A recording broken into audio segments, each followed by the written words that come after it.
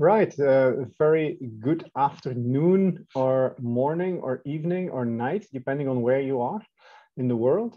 Um, welcome to this uh, uh, webinar of the uh, joint webinar, I should say, of EPIC-XS and uh, the European Proteomics Association. Um, for this afternoon, uh, your chairs will be myself and my colleague Harald Barsnes. Um, I will briefly introduce the the EPIC-XS Consortium as well as EUPA. Uh, and then without further ado, we'll get started with the speakers, which is of course why you're all here. Um, this session is being recorded, so we will make that available afterwards. If you would like to share these talks with other people, that will then be easy to do. Um, we've also had a, a workshop on uh, using IonBot uh, earlier today, and that session has been recorded as well. In case you missed that and you would like to see that, you will be able to see that as well, and we will release that uh, at the same time that we release this uh, this session recording.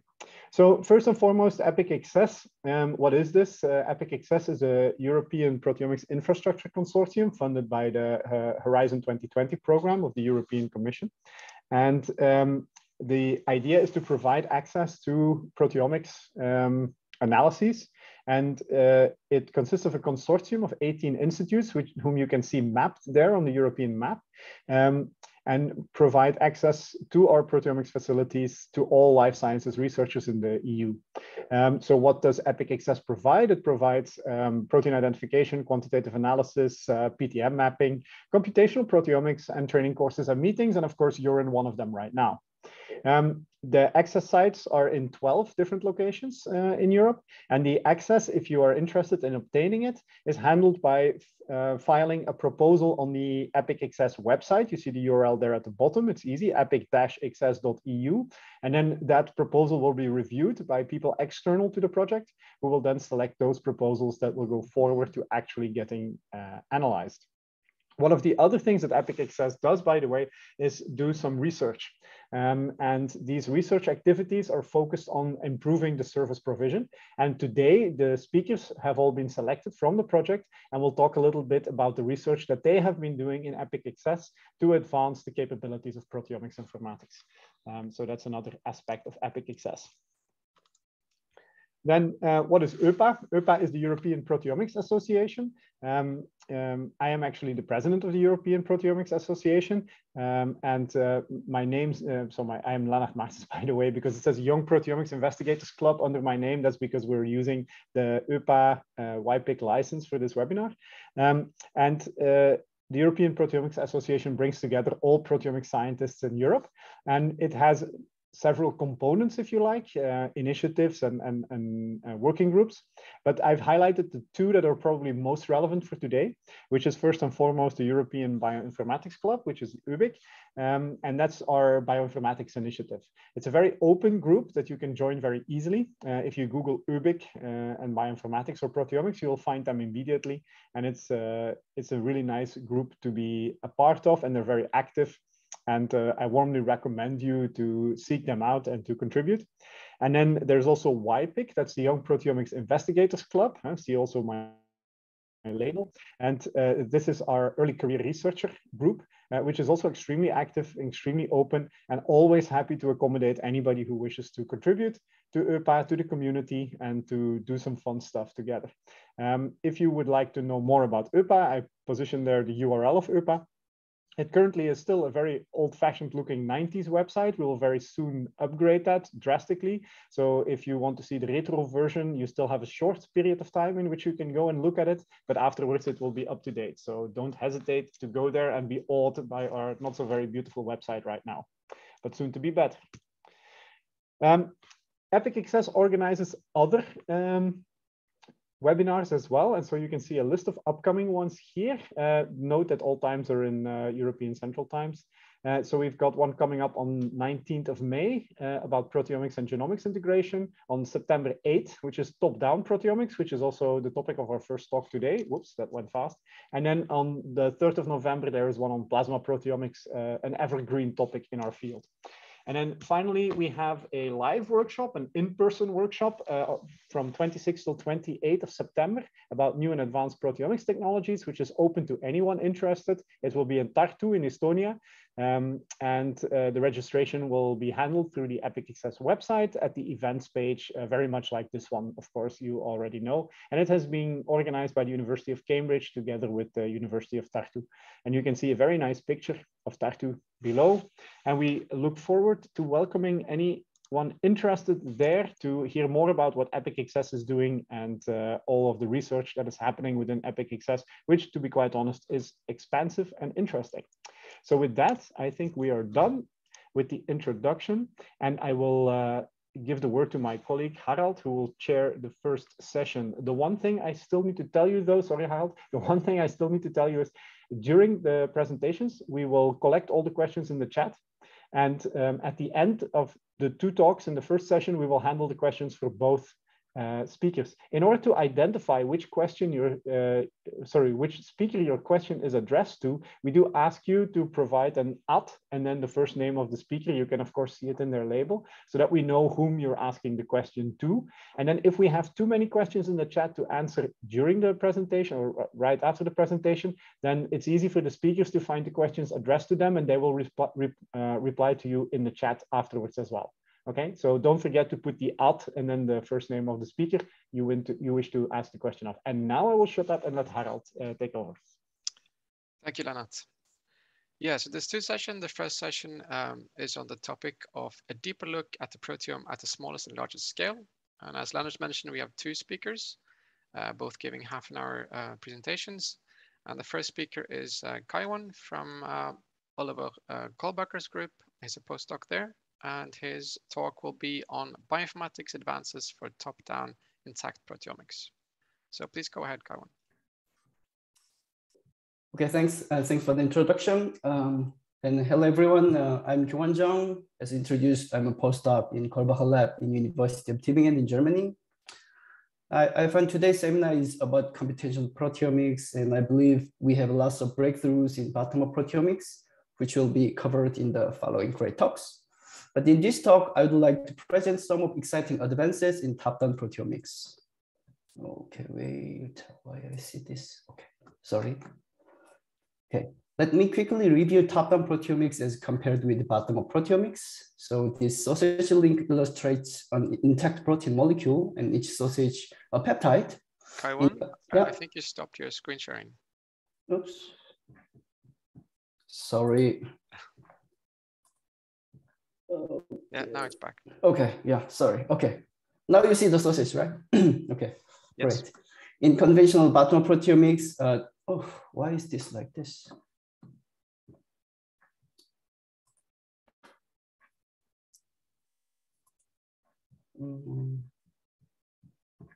Okay. Okay, sorry.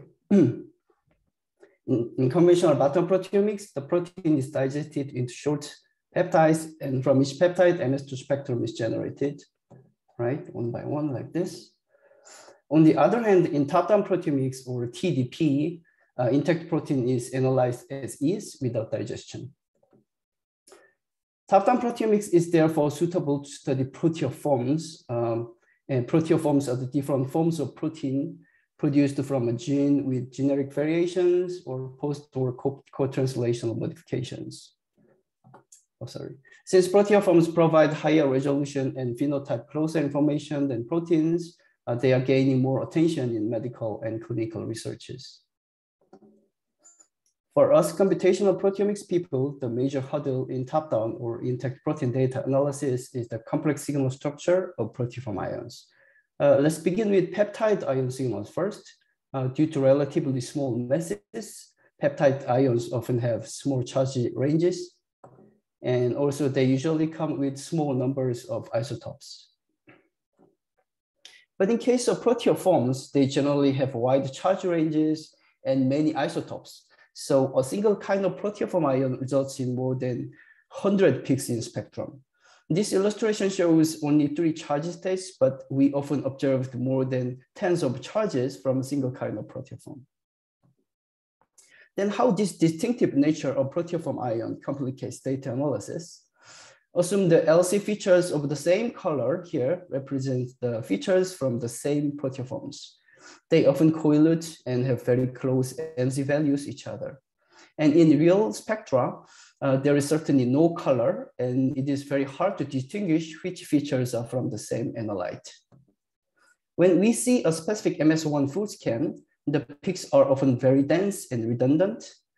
MS2 spectrum from these highly charged precursors is also quite complex and retains many peaks of different charge states. These complexities in different levels complicate various proteoform analysis, including identification and quantification. Then how to resolve this complexity? Uh, for example, could we make these entangled features into simple monoisotopic mass features? And could we convert this complex MS1 spectrum into simple one consisting of monoisotopic mass peaks, and also for this MS2? This, this entangling step is called mass deconvolution, and this convolution step is very crucial for most MS data analysis in top-down in tech. Because the next step anal analysis like proteoform identification, quantification predict that errors in the deconvolution are to be propagated in the following analysis, uh, which I will discuss in the later part of this talk a little bit more. And many excellent convolution tools have been introduced in the last decades. This list only shows a few of many such tools. THRASH is, to the best of my knowledge, the first automated mass deconvolution tool it is published almost 20 years ago, but it has been continuously improved, re-implemented, and used widely in many top-down software suites. Xtract is also widely used in many top-down software suites like ProSight PCPD and works well for isotopically resolved high-resolution spectra, while ReSPECT is optimized for isotopically unresolved spectra. TopFD is a convolution tool in TopPIC software suite that works especially well for the convolution of MS2 spectra. PROMEX is a feature-level deconvolution tool used within MS Pathfinder T from PNNL. UNIDEC is also getting lots of popularity, especially in uh, analysis of native MS or CDMS datasets. Also, many other vendor deconvolution tools have been introduced. They all come with their own strengths and specific applications, and also certainly with limits. One of the major limits in deconvolution was the running time. Convolution itself often takes much more time than, for example, uh, identification. And to reduce the running time, many tools reduce the range of possible mass range or charge that lead to reduced sensitivity. To address such problems, we introduced FlashDeconv, an ultra-fast um, feature and mass deconvolution tool is a part of OpenMS software.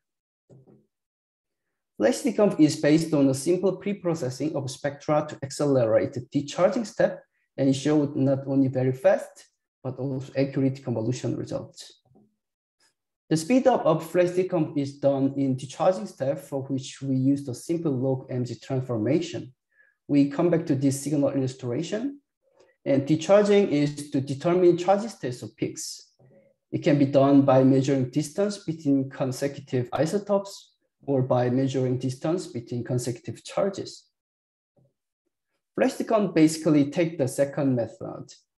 If we calculate the distance between consecutive charges, they are given by these blue formulas. Obviously, the distance is dependent on the mass value m.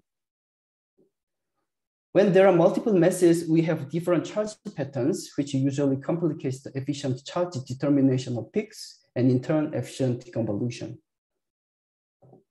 But if we simply take the log to all mz of all peaks, then the distance between consecutive charges uh, suddenly become independent of the mass value. There's no m in the formula, right?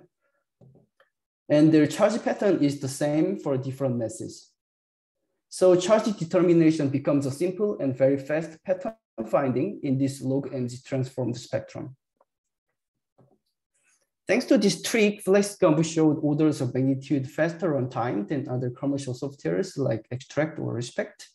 The left side compared the runtimes from different deconvolution tools uh, for a complex mouse sample.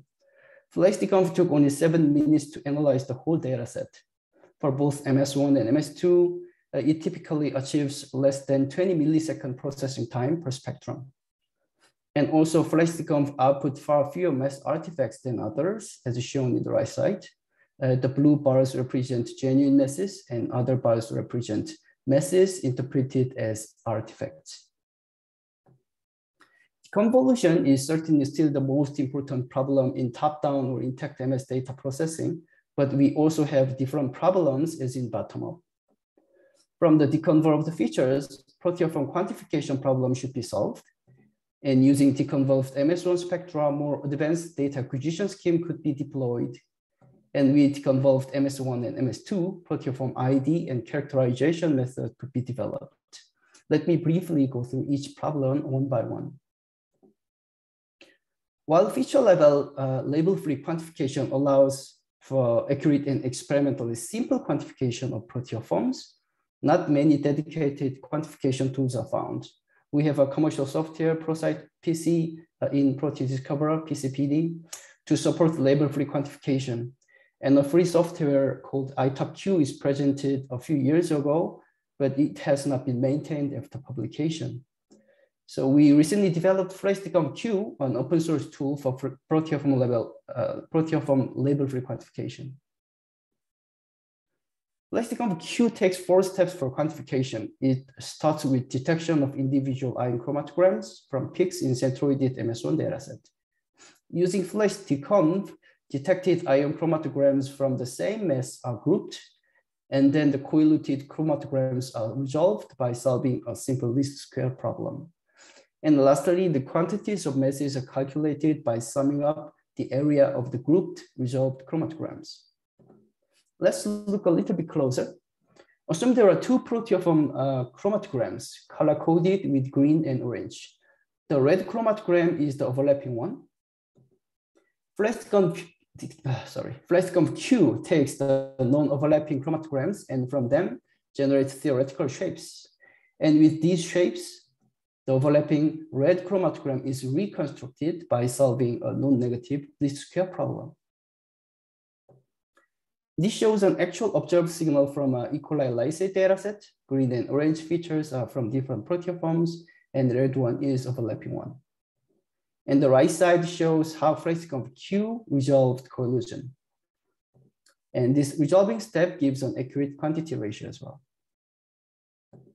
When we benchmarked FlashDeconv-Q against just FlashDeconv, Respect, and ITOPQ with E. coli lysate, we observed FlashDeconv-Q found the most jointly detected proteoforms and also showed high portion of overlap.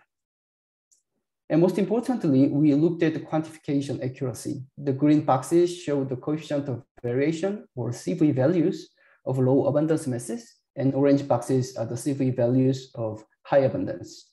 For both cases, FlashDeconv-Q showed minimum CV values, showing FlashDeconv-Q is accurate and also works well for low abundance proteoforms. And next, data acquisition is also an important issue in top-down proteomics.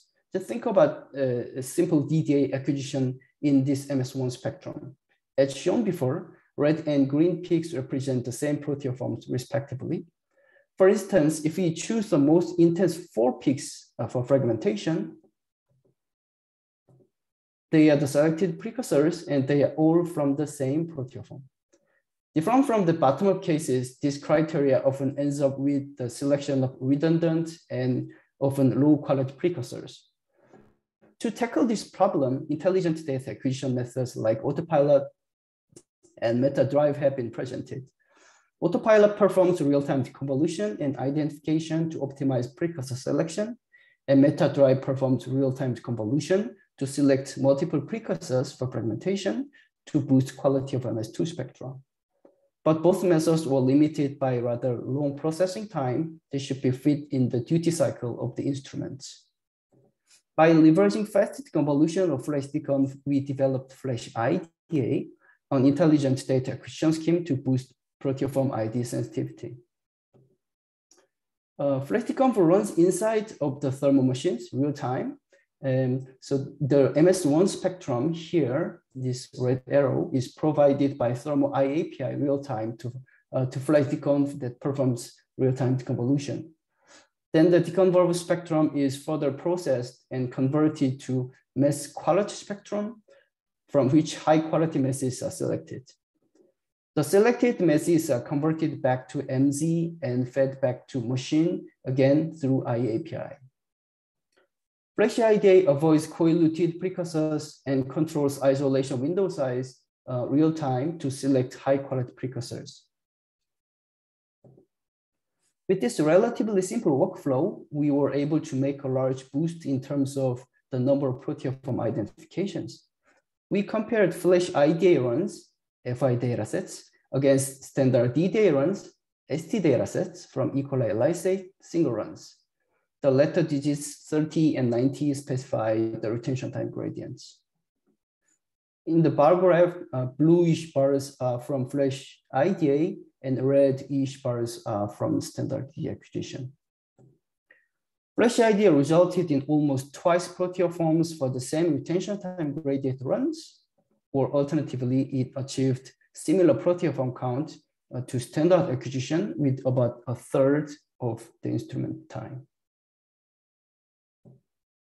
Next topic is the identification. We have actually many excellent softwares for proteoform identification, very popular tools like ProSight PCPD and TopPIC. They are widely used and actively maintained. We also have PTOP and MS Pathfinder T. While they are uh, less actively maintained, they provide sensitive and complementary proteoform identification to ProSight PD and TopPIC. Uh, Professor David Tabb is preparing a paper on the comparative study of top-down proteomic softwares with us. And this diagram shows the analysis flow, where different ID tools, identification tools are evaluated for the same samples. Please wait for this informative paper in which the detailed analysis about these tools will be provided. Now, given these brilliant tools, a question is, should we go with another one? Should we develop another one? Well, let me give you some explanation on why we may need one. Another analysis we are performing with Dave Tabb uh, in the paper is to compare different deconvolution softwares. We use a single ID tool, which is TopPIC in the bottom side, and use different deconvolution algorithms. Let me present a simple proteoform ID overlap analysis, which will lead to an unexpected surprise on proteoform FDR estimation. And this may convince you the need of another identification tool or at least another host processor for proper FDR control.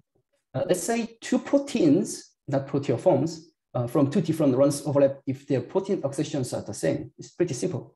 And two proteoforms overlap if their protein accessions are the same, sequences are the same, and precursor masses are the same.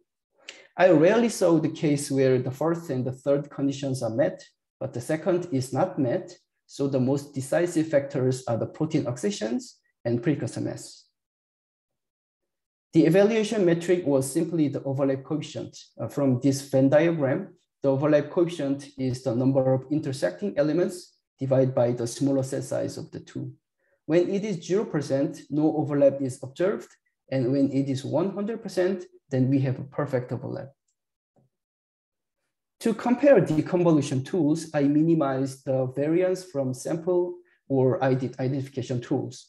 From the same E. coli Orbitrap sample, we used FlashDeconv and Xtract for deconvolution and coupled with the same identification tool TopPIC at proteoform level FDR of 1%. And we saw how their overlap coefficient changes. In protein level, we have 92% of overlap. Well, not so very bad. And for proteoform level, oh, it was quite low. It's 51%. This doesn't look very good. Well, but maybe this is the case in which FlashDeconv and Xtract are complementary each other. So maybe a win-win game. Then I removed this variance again by only taking the proteoforms from the same MS2 spectrum. They should be the same because they are from the same MS2. In protein level, it was 96%, a bit too low. I wish I had 99% or 98% because FDR is only 1%. Then how about the proteoform level? It was only 49%, even lower than before. So this explicitly shows the precursor meshes from two methods do not match seriously, which may be a very serious problem for both and Xtract. But what is even worse is that this shows is that proteoform level FDR is failing so, so bad. Okay, then how about we introduce precursor error intentionally?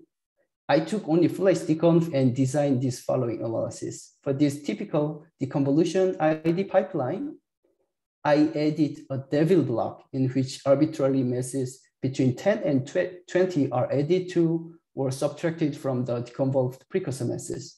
For example, when the reported precursor masses are here, some random masses are added or subtracted, and it is used for the, used for the TopPIC identification of 1% FDR. For this search, the number of proteoform uh, spectrum matches reduced only by 10%, not by 9%. And even worse, the number of proteoforms increased by 200%. This is kind of expected because all different random false precursor masses will be interpreted as novel proteoforms. So one can guess that most false positives in TDP searches are from precursor mesh errors this gets serious, especially when blind modifications are allowed. And when many modifications are allowed per proteoform identification, the same problem occurs. Then why our great target decoy database cannot control this source of error? A simple way to see if decoy works is to compare score distributions of decoy hits and actual false positives. To obtain false positives, we searched this E. coli dataset against human protein database. This is FP1 to simulate the protein sequence error. And we took the first positives with the incorrect precursor meshes from the previous devil block pipeline. This is FP2. And lastly, we have decoy hits from decoy only database search. This is the match score distribution of decoy hits. The higher, the better. And the second shows the distribution from FP1. They are quite similar, so decoy will represent false positives in the in FP1. In other words, in other words, uh, protein sequence error. And this one shows the distribution from FP2. If we see the x-axis scale, we can easily see decoy and FP2 have very different distribution.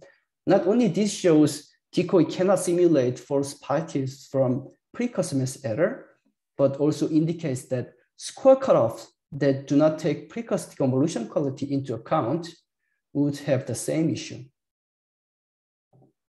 Then what is the solution? We are trying to uh, trying the approach similar to uh, the tool Quandenser from Lukas Käll group, uh, which used the notion of decoy MS1 features to control MS1 feature match error rate. By using decoy MS1 features with percolator, they showed less than 5% feature level FDR. Likewise, we could extract features from precursor convolution and use decoy precursor message with percolator. This is an uh, ongoing project in our group. So far, we thought about how to take precursor mesh error into account for accurate FDR estimation in identification. Another way to resolve this FDR issue is just to remove all precursor mesh errors. Again, going back to the first deconvolution problem. Uh, this is too dreamy, but we are trying to improve the convolution quality using deep learning to reduce uh, and hopefully remove convolution errors. To measure the convolution quality using deep learning, we encode the observed peaks so that they can be used in RNN and CNN-based classifiers. Let's revisit this signal from the proteoform. And these peaks of different charges will be moved to this three-dimensional space with mass charge and intensity axis. The first blue peak can be moved like this. The first peak comes to here, uh, corresponding to monoisotopic mass, and others come one by one. And the next charged peaks appear in the next charge axis, and the purple peaks appear in the next charge. Now we encode these peaks into a sequence of tokens. The blue peaks from the first uh, blue peaks uh, form the first token, and the second uh, green peaks make the second token. And the last purple make the third token. Note that the, the tokens contain similar signal shapes. When the signal changes, for example, their isotope patterns change and have more charge states, we have more tokens with different uh, signal shapes. For very small masses, the sequence length will become very short. Lastly, for noise, we usually have very low relation between tokens. So overall, the inputs have variable lengths and signal has high relation between tokens and noise has low relation. So RNN might work very well for these kind of inputs. The second method to see the signal is to simply see it from above. Then the signal look like this. It has a checkerboard pattern. If the signal changes, we have differently sized checkerboard. And for smaller one, we have very small checkerboard. Lastly, noise make rather scattered dots. So overall, target image size varies. Signal and noise have different patterns. So CNN looks a good method for this problem. Uh, CNN is already used for deconvolution in uh, TopPIC suite as well with the name EnvCNN scoring. For training, validation, and test, we prepared half simulated datasets. We have three classes instead of two. Uh, correct class masses are obtained by collecting deconvolved MS1 masses of very high signal to noise ratio. The noise masses are obtained by shifting the signals in correct masses by 10 Thomsons in the row spectrum. Lastly, we also have mass artifact class that represent charge assignment errors. Oops. This is the RNN result. We use three different RNN models, simple RNN, LSTM, and GRU. When you ran three times with different sets, uh, all showed very high accuracy, exceeding 0.95. LSTM showed the best performance and GRU followed the next. One interesting observation is that RNN works much better for larger masses. This makes sense because larger masses often ha have uh, longer input sequences and RNN can effectively exploit information in long input sequences.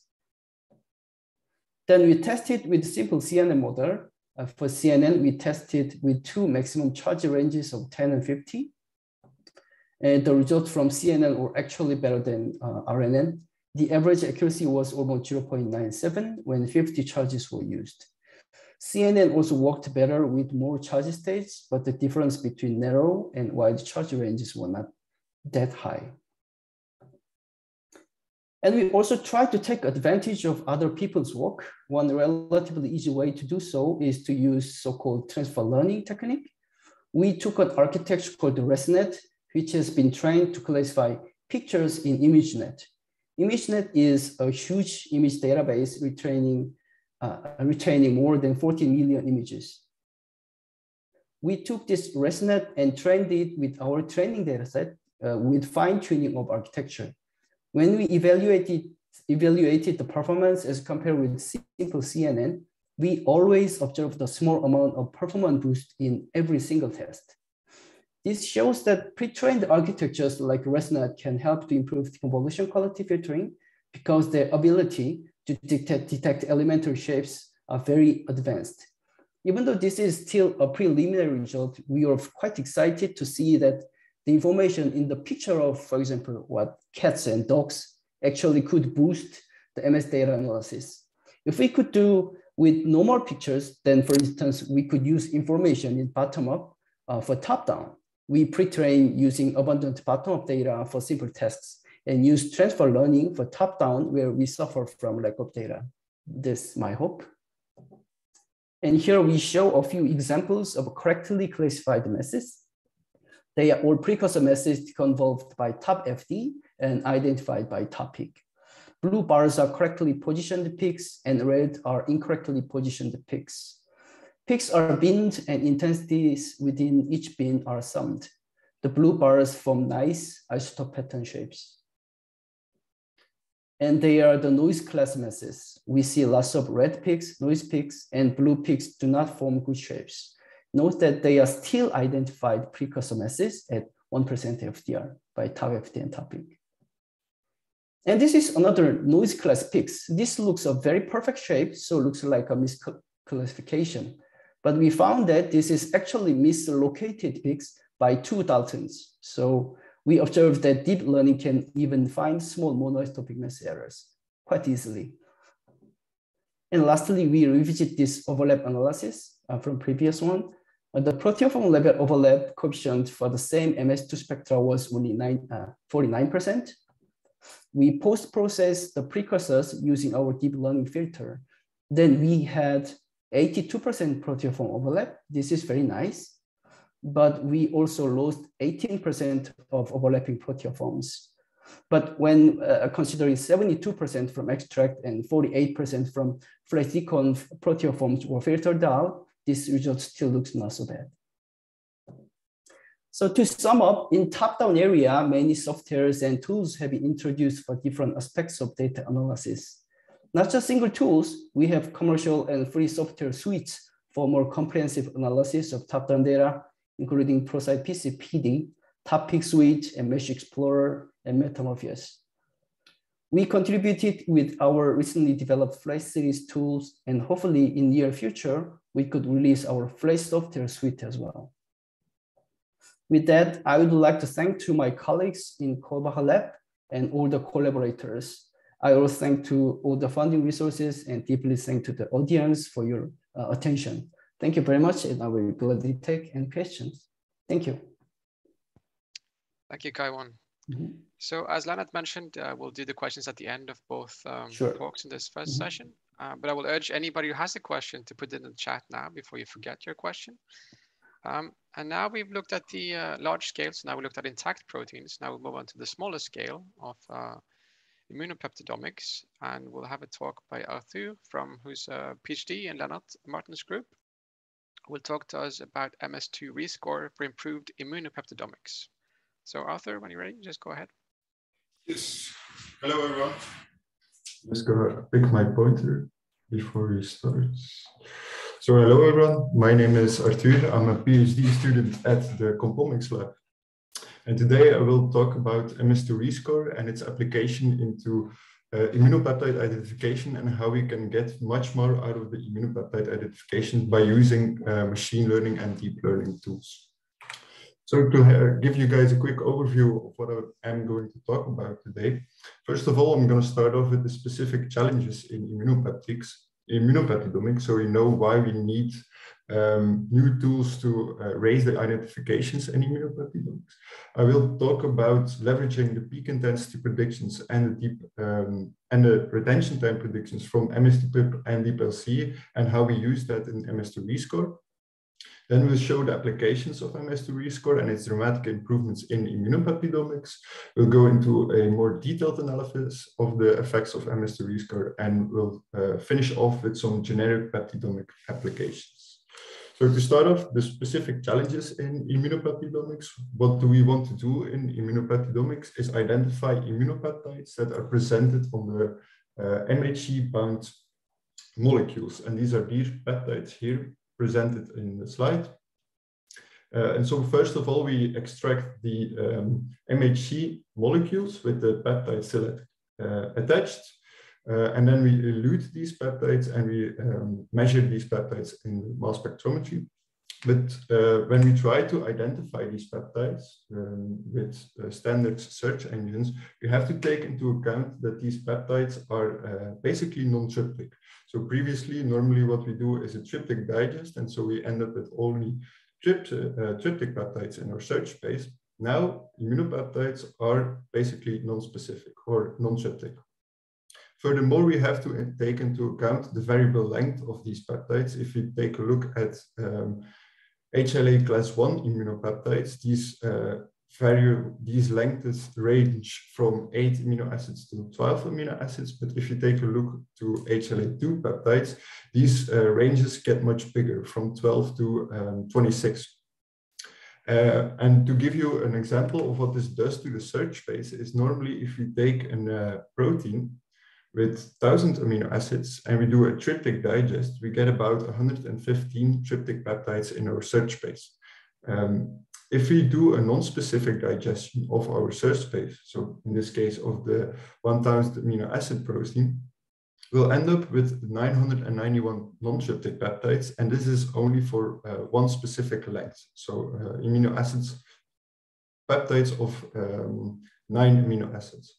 And if we then uh, adjust for the variable length that we have in immunopeptides, so we add uh, 8 to 12 amino acids, we'll end up with uh, a search space of 15,000 uh, peptides. And so if we would do this for the HLA class 2 peptides, it would get even uh, bigger. And the results of this increased um, search space is that we ultimately end up with less confident matches of our uh, peptides against our spectrum that we measured with the LCMS. And so ultimately with the FDR control, we lose a lot of our identifications. Um, and so uh, with basic or standard search engines, we end up with a lot less identifications uh, or PSM matches in the end.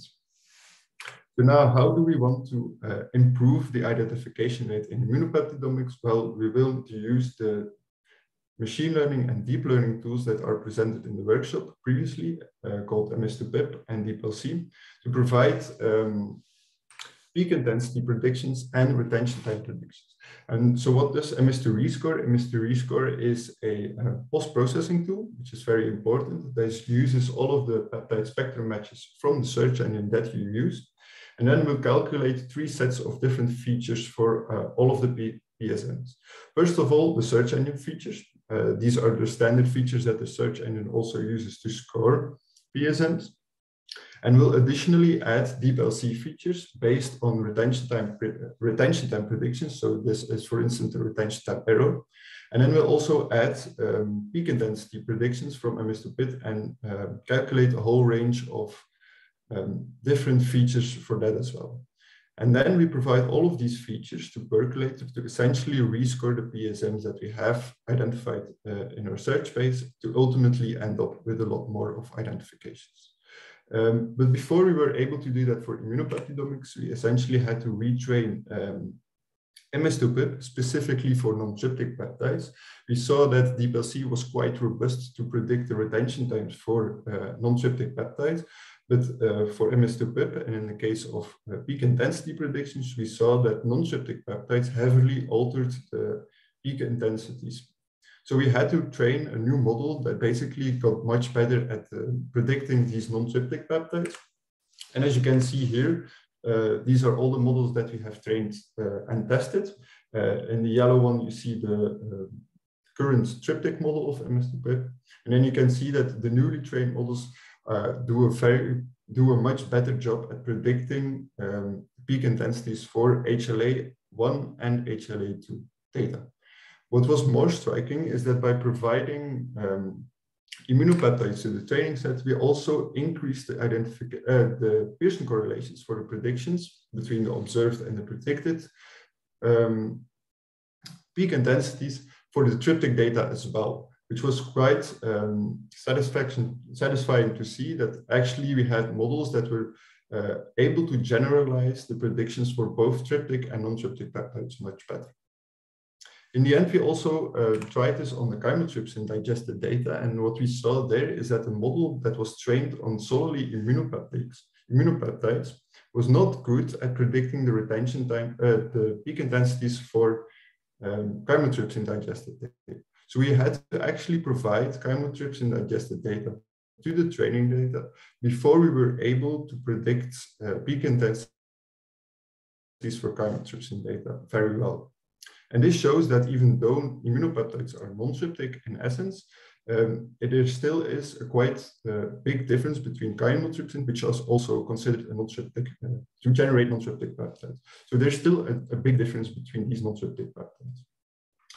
And so uh, we provided all of these features, like I mentioned before, in MS2 Rescore to Percolator. And then we see that all of these features in blue, uh, we have highlighted the MS2PIP features, in green, the DeepLC features, and then in yellow, the search engine features. And we can see that all of these features get quite a big of weight. The reason why we have so much MS2PIP features is because MS2PIP calculates much more data points, which uh, from which we can calculate much more features. Uh, but as you can see here, while retention time predictions is only one data point, so we can um, match the predicted retention time with the observed retention time, we can see that this is a very important feature when rescoring um, the data. And what, uh, what was also very nice to see is um, when we rescore HLA class one peptides, which are fairly restricted in the length, you can see that also the peptide length is a huge, a very important feature for Percolator in rescoring the data, which is uh, actually very nice to see. And if we take a little bit more uh, in-depth look on how um, Percolator uses these features, is here we can see, so on the uh, left side, we see the search engine score in relation to the retention time error. Here we see the search engine score in relation to the Pearson correlation, and here we see the uh, retention time error with the Pearson correlations. And so what we see here is that by providing all of these different features, and so uh, keep in mind that these are also only three features, but we have in total around 100 features that we provide to Percolate. Percolator is really able to separate the accepted target from the um, from the rejected targets. Um, and if you take a, a, little bit more a look in the center here, um, previously, if you would only use the search engine score, and we would tell that above a certain threshold, we would uh, take these targets as accepted targets, we would have taken a lot of invalid targets with. So now when we provide the Pearson correlation co uh, coefficient, we can see that we can very much we can much better separate the accepted from the rejected targets. And if you take a more uh, a look at the uh, distributions um, from the decoys, the rejected targets and accepted targets, then you can nicely see that the distributions of the decoys very well match the distribution of the rejected targets, while we can see a huge difference for the accepted targets. And this is for the retention time error and the Pearson correlations. And this shows very well why uh, it is such an advantage to prevent to provide these features to Percolator for rescoring, because it is able to very nicely separate your uh, targets. Now, to show you some of the results that we got from um, MS2 rescore and uh, post-processing immunopeptidomics data, here you can see on the uh, left hand or on the y-axis uh, the identification. So the higher we go, the more identifications we have of the more identified spectrum and the much more, if you go more to the left, then we have a much higher FDR threshold that we use. Um, so if you take a look at the 1% FDR, if you compare MS2 rescore with uh, standard uh, percolator, so uh, rescoring with only search engine features, then we can see that for the 1% FDR, MS2 rescore has a um, very nice increase in the number of identified spectra which was very nice to see, uh, actually. But then if you take a look at the 0.1% FDR, previously, even with rescoring with only search engine features, we were not able to get that much of identifications um, out of uh, your data.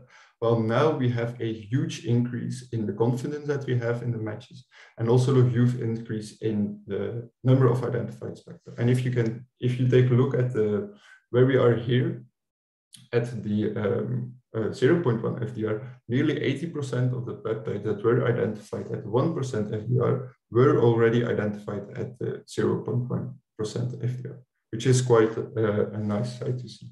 And then if you take a look at the um, uniquely identified peptides, which is the most important thing in immunopeptidomics because you want to find these new immunopeptides uh, in terms of sequence.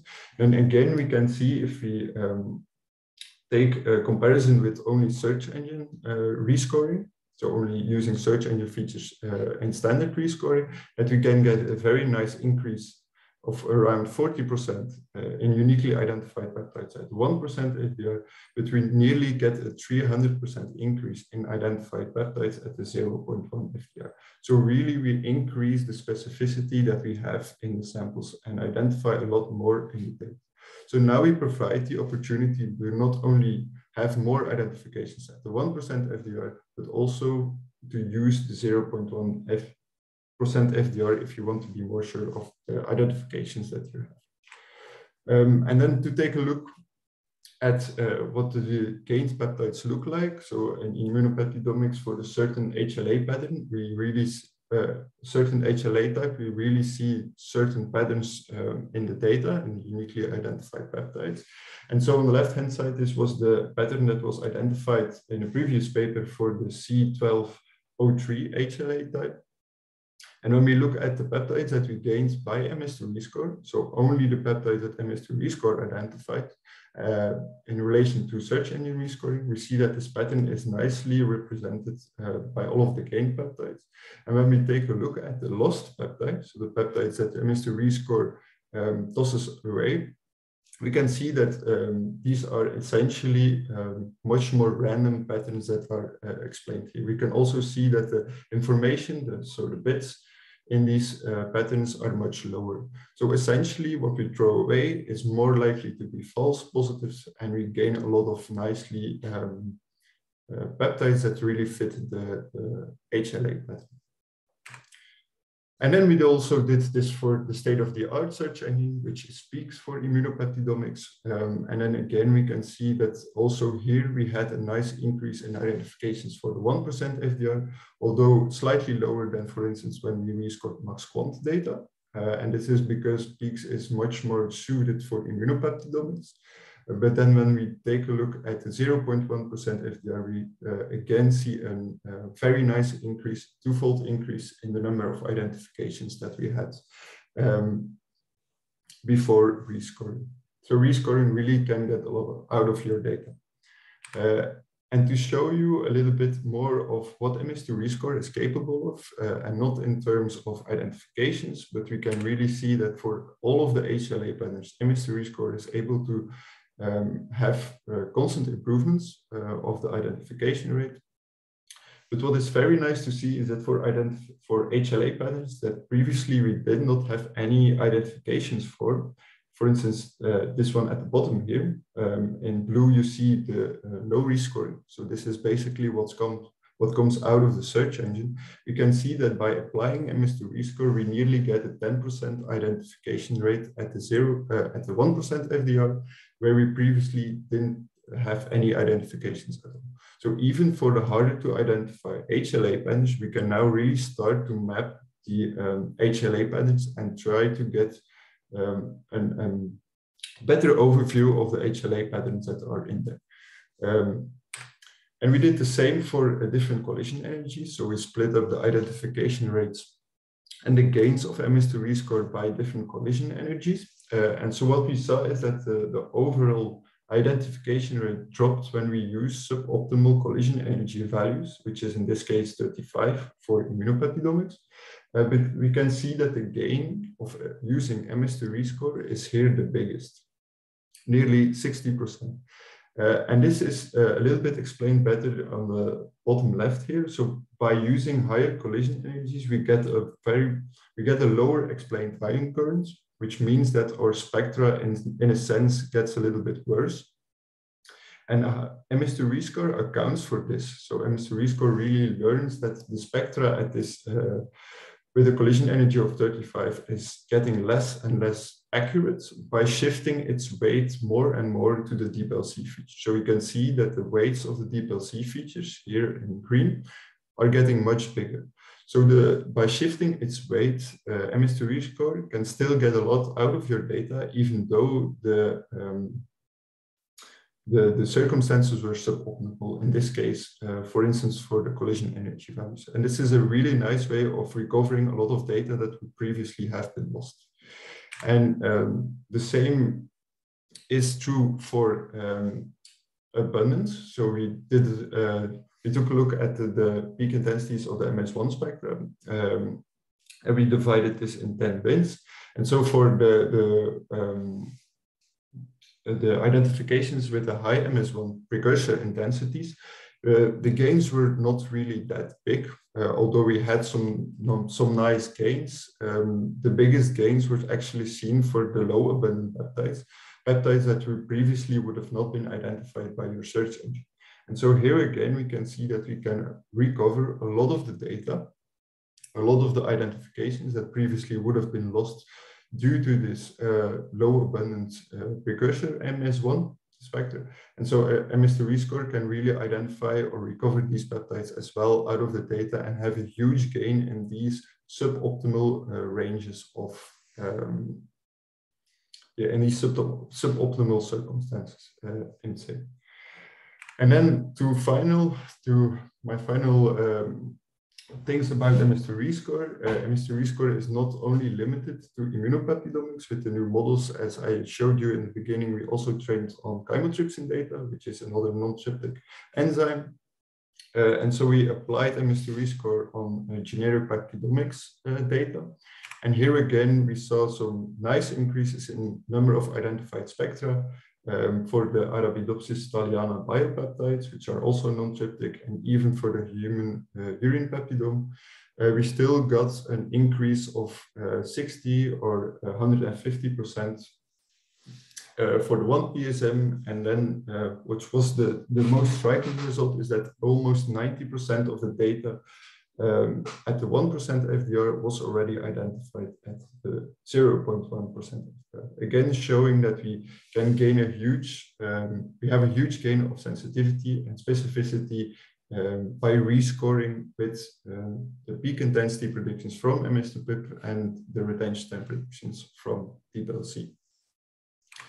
So to conclude, um, MS2 score can substantially increase the number of identifications uh, in immunopeptidomics. Uh, we enable, by using MS2 score, the, uh, the use of much stricter FDR thresholds. MS2 score can really get the most out of your data, even in suboptimal values, and can recover low abundant peptides as well as um, whenever you have a, a, little bit more, a little bit worse spectra. And we, MS2 score is not only limited to immunopeptidomics, but we can branch out the peptidomics data as well and have some really nice gains for these uh, data sets as well. And with that, uh, I conclude my talk about MS2 score, and I would like to thank everyone in the group uh, that has helped with the, this, um, this very nice tool. Thank you. Thank you, Arthur. You have almost 10 minutes left if there's more you want to say. I talked a bit too fast. I, I that's okay. That's okay. Um, there are not many questions. So if you have any questions, please be sure to put them in the chat. Um, there's one question that's already been answered in the chat, but I think we can repeat it for the people that haven't followed the chat. And that's for Kyowon. It's from Animesh about um, how clean does a sample has to be for FlashDeconv to work? I'm wondering if it can pick up antibodies from serums, serum directly.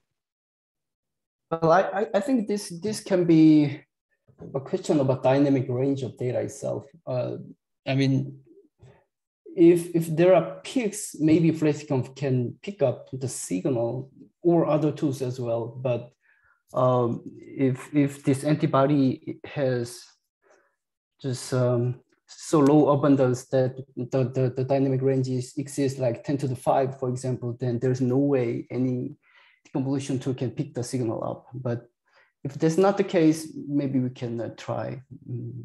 But I don't see, I don't know, usually when people analyze antibody, they just have very pure ones, right? So um, yeah, so yeah, for, for now, I, I cannot answer that before I actually see the data set. But if, if the complexity is about the number of peaks, then uh, FlashDeconv can uh, pick up the signal quite efficiently. Yeah, so that is true. Thank you. And, and now mm -hmm. there's also a new question here for Arthur. I missed the workshop this afternoon. How do you train the software for immunopeptidomics? Do you use the peptides published in literature?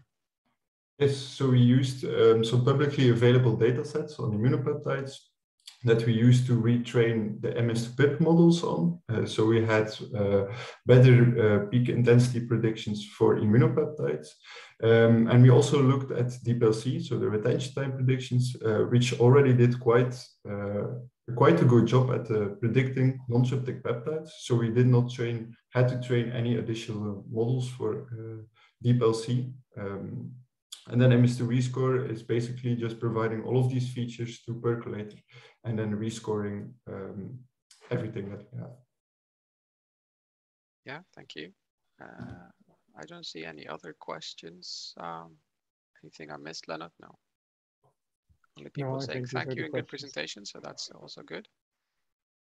We are we are way ahead of schedule though. So um, what do we do now, Lennart? I uh, propose that we that we simply continue. Um, the, I think that is a good idea. On the uh, on the other hand, since we're ahead of schedule and since we've been doing this now for an hour, maybe it's not a bad idea to have a short bio break of about five minutes so that people can uh, can get a drink or can visit the bathroom for a moment. And then um, I propose that we'll be back at 25 past four, and then uh, we'll continue. So uh, short break uh, before we continue. So welcome back, everyone. Um, we'll continue this uh, this webinar with the last two presentations, uh, which are actually nicely matched, and uh, they they talk about uh, the the large scale, if you like, interpretation and reuse of proteomics data. And so our two speakers are Mathias Wilhelm from the Technical University of Munich and Juan Antonio Vizcaino from uh, EMBL EBI, and uh, both will talk about interesting resources and verification of data and uh, the first of these will be uh, by Matthias. Uh, Matthias, you can start sharing your screen meanwhile. Yeah, super, there we go. And so um, he will talk about Proteomics DB and the, the PROSIT tool suite that, uh, that has been developed at the Technical University of Munich and how that uh, both disseminates and probably uses uh, fair data in various ways. So Matthias, without further ado, I'll give the word to you. Thank you for the introduction, Hert. Thank you, and thanks for the invitation. I'm happy to be here. So, as as introduced, I'm attempting to talk a bit about um, fair data, how fair data fosters proteomic research, and sort of try and exemplify this a bit on Proteomics DB and PROSIT, um, two bigger projects we have been working on over the past years, um, and particularly Proteomics DB. I somewhat not necessarily painfully, but it sort of opened my eyes when I when I made these slides a couple of days ago that the development of Proteomics DBs is by now two years old essentially. So about two years ago, we started developing Proteomics DB, which is an in-memory database for, for hosting initially just large amounts of proteomics data.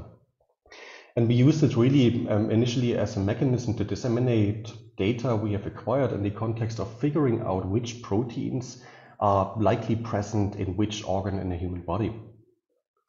Um, since then, in ProteomicsDB, plenty of different um, um, research projects happened and we disseminated different tools and, and analysis with it. So ProteomicsDB typically follows sort of two streams, um, one where we focus largely on data processing and dissemination, and the other one where we focus on data integration utilization. And I will go into both aspects throughout this talk now a bit. Briefly, um, ProteomicsDB started in 2012 um, with this project of figuring out which proteins may um, be in which quantities expressed in which part of the human body. And then um, we developed um, different tool, a different tool chain um, looking into um, protein FDR, but also into how we can sort of extract the most information out of raw files. And on this side, um, that was almost always coupled with um, extensions on data integration and utilization, where we integrated different data streams into ProteomicsDB, looking at target spaces of drugs, for example, here on the bottom left-hand side, or also then on how the um, expression patterns of proteins is in other organisms. All of this um, would have not been possible without prior research. And particularly is built on, on the shoulders of giants here.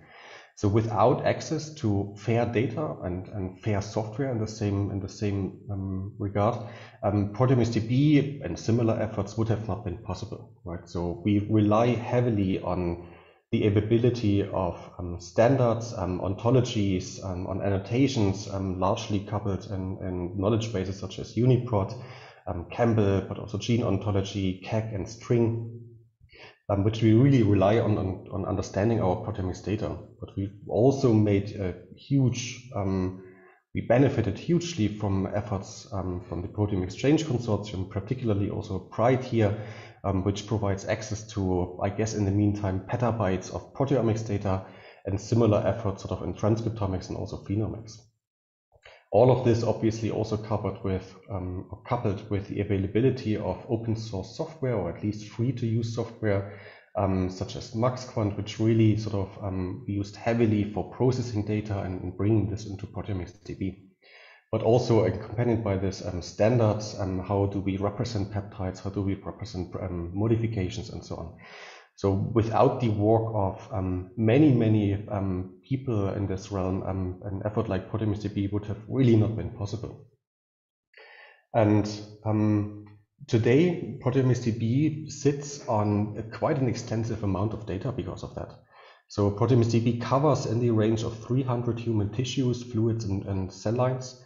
Um, by now, um, we have also extended ProteomicsDB not, to not only present data on human origin, but also um, cover about 40 Arabidopsis tissues and cell lines, um, also cover about 40 mouse tissues and cell lines. And soon there's also a rice proteome available in ProteomicsDB. Um, we have in the beginning largely focused on sort of the pure um, expression data of proteins across those um, tissues and cell lines and body fluids.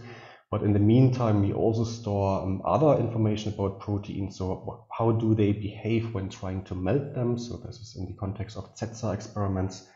Um, ProteomicsDB supports the storage of turnover measurements. So how quickly do proteins get synthesized or degraded in the system? So that's also particularly interesting these days for developing novel drugs such as PROTACs. We also store a large chunk of dose response um, data, so measuring precisely at which concentration of a drug a cell line um, is going to respond or not respond. Um, and obviously then also comes with that is a lot of um, protein expression data and transcript expression data. The database scheme here depicted on the right hand side sort of spun a bit out of control over the last years. And I guess that's a particular challenge also in research projects like this, where you start a project like this as a PhD project and it grows and grows over time and then you add a module here and you add a module there and add a new feature there. So this at some point this will require a bit of time to um, homogenize this a bit. But you see that in the in the database scheme we are covering quite an extensive um, range of data on ProteomicsDB. Um, ProteomicsDB um, today is still hosted um, by a group in, at the TU Munich, um, the group of Professor Kretschmar.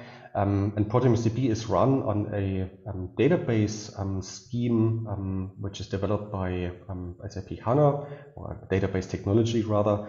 It's an in-memory database. So the, the data we provide access to on ProteomicsDB comes on or sits in a, in a server which has um, six terabyte of main memory. So there's actually two of these servers by now um, with a continuous integration um, testing behind this or with a couple of development infrastructure um, um, machines behind this. And then also an auxiliary compute node allowing us to perform predictions using GPUs or, or CPUs. Um, we've used ProteomicsDB not only for, or largely for disseminating also our own data or data which was acquired in the context of my previous employment at Professor Bernhard Küstersche, um, where um, on top of this data layer there sits a presentation layer where we try and provide access um, to the data in, in useful visualizations for the scientific community. So um, while benefiting from efforts such as PRIDE to make um, the raw data available, we, we in the past um, built extensively on top of this layers which allow um, users to investigate these, this data in detail, combine data from different streams and sort of validate or come up with new hypotheses for their, for their research. Um, Today, um, ProteomicsDB supports um, proteomics data, um, transcriptomics data, um, the phenomics data we, we briefly talked about earlier. We also integrate data from um, target identification measurements, so where experiments are done which are aimed to figure out which drugs interact with which proteins, and then also um, metadata in the form of such, uh, for example, protein-protein interaction maps. Um, because of that, um, in ProteomicsDB, you can essentially explore all of these, um, these data in real time. Um, so you can, for example, start from the expression of a protein, here depicted um, with the body map, where in the color scheme superimposed, you see where your protein of interest is expressed most or least. And then one can go straight into potential drugs interacting with this protein. One can go also into um, the phenotypic response of cell lines when using those drugs. Um, one can look at expression patterns of multiple proteins in the form of a heat map visualization. One can also look at the target spaces of multiple drugs combined. um, but also dig down into the data of, of every single spectrum essentially. Um, to go a bit more in detail what is possible, um, this um, start with the very um, low level information so we can dig to every single spectrum stored in ProteomicsDB essentially. So you have a visualization like this where a mirror plot, which you've likely seen in an earlier presentation already, where to the maybe to the top, at, at least here to the top, you see an experimental spectrum. and the bottom, you see a, a reference spectrum. That reference spectrum may originate from, from synthetic peptides, but may also originate from prediction tools. Um, in our case, that originates from PROSIT. You can actually look at every single identification and, and try and figure out whether um, the protein you may be interested in is um, confidently supported by an identification of a peptide which uniquely maps to this protein. In ProteomicsDB, we support the annotation of these spectra for various um, fragmentation techniques, and particularly the addition of the reference spectra, of which we store in the range of 100 million in ProteomicsDB, um, allows you to, to get also without extensive prior um, experience on how mass spectra should look like, you can get an intuitive feeling on whether this looks to be correctly identified if the top one matches the bottom spectrum. The visualization we use to um, show both proteomics and transcriptomics expression data is, um, if you look at one single protein, is this body map, which, um, as mentioned earlier, superimposes the um, expression information on a body map um, using a color scheme indicating in which tissue or um, which cell line, which is then mapped to its originating tissue, this protein expre is expressed the most. Um, this is all stored in an RDF-like data model, which allows us also to easily combine proteomics and transcriptomics expression data. We'll come to this also in, in a later slide. so here what we see is essentially expression data from various different cell lines. And obviously all of these cell lines weren't acquired sort of by one single lab. So what we do here in ProteomicsDB, we look out for interesting publications in, in, in, in a variety of journals. And if the data is made available, we actually go to Pride, reprocess this through a homogeneous pipeline and make the data here available in ProteomicsDB. So we benefit a lot by, by the efforts of Pride and, and ProteomeXchange to make such data available and also benefit a lot from, from annotating or from the authors annotating which raw files belongs to which sample here to be able to map which protein belongs to which cell line in the end. What one can also do in ProteomicsDB then is not only to look at the expression of a single protein, but also multiple proteins. Since we combine all of this in one common database scheme, we can then also easily ask questions like whether there is a particular expression pattern of multiple proteins visible when investigated across a larger number of cell lines or tissues. So what you see here is a classic expression heat map of a group of proteins, um, PSMB. So these are all proteins which make up the um, proteasome. And what one can nicely see here is that there appears to be different varieties of the proteasome expressed across um, the different tissues and cell lines here plotted uh, across the x-axis. And one can see that there's a, a, proteasome, which is commonly known as the constitutive proteasome, which is sort of present in the um, non-immune um, um, associated um, tissues and cell lines, and then particularly in cell lines which are known to have a, a correlation with the immune system, we see that a certain um, group of proteins, is, three particular proteins, is exchanged against the, the induced version of that. So indicating that these cell lines um, then are likely very active in generating um, HLA peptides. As mentioned, we um, use this ProteomicsDB to also do um, a lot of data dissemination for, for the bigger projects um, which have been done in the group of Professor Küster. Um, so we store information about um, kinobeads assays. So here we measure um, the binding of drugs to kinases. Um, we store in the range of 10 to the 6 of those in, in ProteomicsDB, where again one can dig down to every single dose um, response measurement and see exactly at which um, concentration of a drug one sees um, half maximal binding of that protein. We also support the visualization and storage of, of CETSA data, so not only base meltome data, so at which temperature a protein is um, likely going to melt, but also uh, the visualization of um, its um, base melting behavior versus um, the melting behavior when a drug is present in the same system.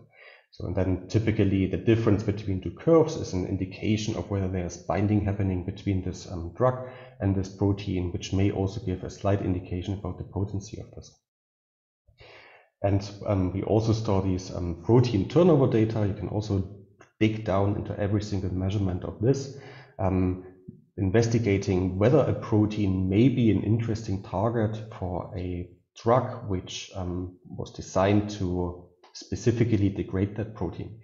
So um, specifically for this drug, you may be interested in proteins which have a high turnover, so which show um, a um, rather um, short um, degradation time, because then the chances of an active PROTAC are, are, rather high.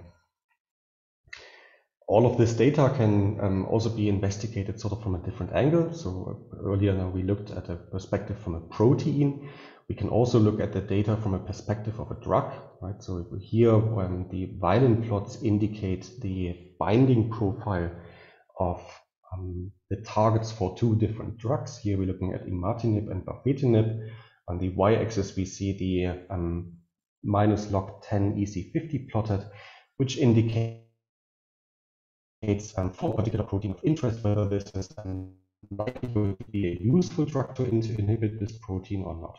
So the number here indicates how many proteins show a more potent binding and less potent binding And then, um, as we always tried in ProteomicsDB for data dissemination, for providing access to, to um, the, the, level of granularity you're most, you're most interested in, one can dig down from these high level representations um, to the binding curve and the respective um, binding measurements here with the black dots um, of every single binding curves of those.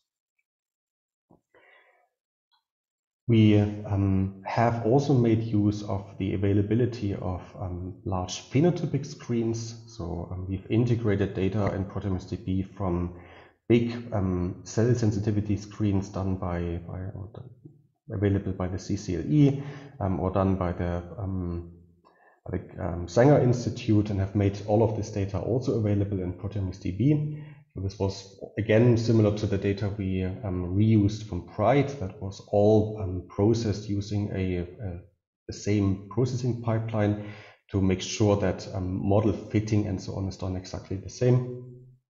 And then um, in ProteomicsDB, you can essentially select a um, cell sensitivity screen of interest and then investigate um, either for a particular cell line of interest or for a particular drug of interest, whether there is um, a particular cell line or drug um, respectively standing out with respect to sensitivity or resistance. So if you're interested, for example, in a cell line which shows um, no response when given a certain drug of interest you're studying in your in your PhD um, um, thesis, for example, and you're interested in resistance mechanisms, um, this view, these parallel coordinates here, um, don't show a um, concentration dependent behavior and thus might be good candidates for figuring out potential resistance mechanisms of that drug or vice versa. You can also use this to figure out um, cell lines which are um, very, very sensitive to this drug. Um, if you then, for example, would like to um, turn this cell line into a resistant one by um, continuously growing the cell with um, low dosages of this drug. similar to earlier, we start with very high level selection. So we may just select the GDSC data set here um, we may select um, imatinib as a drug of interest. Um, every single line here will then depict one single cell line of interest. One can then select the cell lines which show a um, high relative effect and a good model fit, here indicated by the R screw R2 and relative effect and then investigate um, every single model fit um, manually and investigate how confident this model fit is by also looking at every single measurement of those. Um, something which we believe is rather unique here is that um, this visualization, as far as we are aware, is one of the only ones in the web these days still, um, which allows you access to these large um, cell viability screens. So as far as I'm aware, um, there's, uh, I don't know any other tool which allows you to dig deep and, and specifically filter for cell lines or drugs of interest for these phenomics data sets. The main goal of ProteomicsDB then is also to integrate these different streams of information into sort of higher level features. Um, and I've depicted here a couple of those, right? So if we integrate, for example, um, the proteomics and the transcriptomics data, we can make use of this to um, come up with an alternative missing value imputation strategy. And this is also what we've done. So earlier, what we what we and others have shown is that there seem to be a larger number of proteins which show a fairly good correlation, um, or a specific correlation between mRNA and protein. So what this allows us to do now is to make use of the transcriptomics data and impute missing proteomics expression data based on the mRNA profile.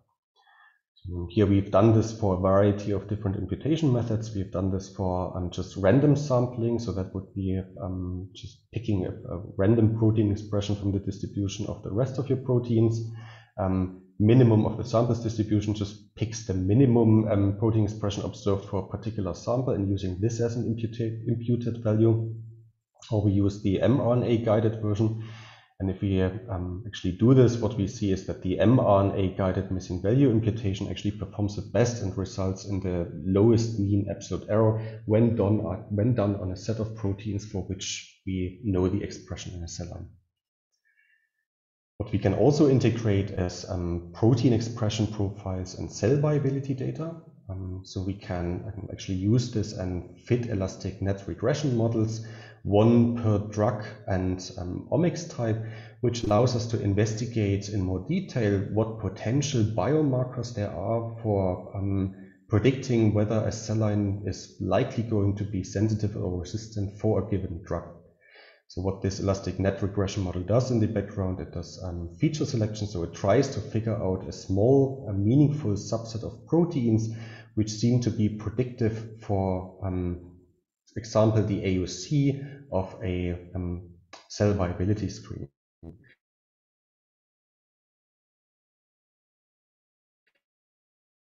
And so um, can plot that to no plot and then see that for um, cetuximab, um, FA2 appears to be a um, likely marker for resistance um, when using cetuximab. Um, ultimately, what we are planning on doing here is, and we are the, on the verge of uh, expanding this much more, as to allow users to also upload their own data to this, and then apply the learned models to um, the data the, to the data uploaded by the user um, to have a feature which may predict which drug is likely going to be um, very effective for this cell line or which drug may not be very effective for this cell line. This can potentially be expanded and may open up also avenues for, for personalized medicine in the future. One can also combine the protein expression profiles and cell viability data in a, in a different way. So earlier we were using these elastic net models. What one can also do is build alternative um, ontologies for cell lines. So what we heavily make use of in ProteomicsDB is ontology is allowing us to connect, for example, cell lines to organs. However, just because a cell line may originate from, from a liver does not necessarily mean it also behaves like a liver cell. So what we can do is we can actually build these um, ontologies of how cell lines and tissues are um, connected to each other based on their molecular profile. So we can use the expression data and the, the way how cell lines behave when um, um, drugs are used um, to build um, molecular fingerprint um, driven ontologies for um, cell lines. And what we see here then, or what we can then also use this for is to suggest potential treatments for new cell lines because they may be in a sub branch of this tree, which may all be rather um, sensitive to a particular drug of interest. So today, um, ProteomicsDB really expanded from just human and proteomics to a large range of um, different omics types um, with um, different capabilities of integrating these different omics types. And that was really largely the result of, of um, previous efforts to make all of this available. Right, so a, a single lab would have never been able to really do all of these studies themselves and build a resource which covers that many organisms um, and that many omics types um, by themselves. So this with, without access to, to data, this would have really not been possible. Over the last um, a year roughly, we've also spent a lot of time and effort on re-implementing ProteomicsDB and, and, and modernizing its user interface. So given its 10 years of, of continuous development, um, the initial uh, user interface we provide appears a bit outdated these days. So what we have essentially done is re-implement all of this into a more modern uh, um, framework. We are using Vue.js for this, which also really allows us to more rapidly prototype new um, applications.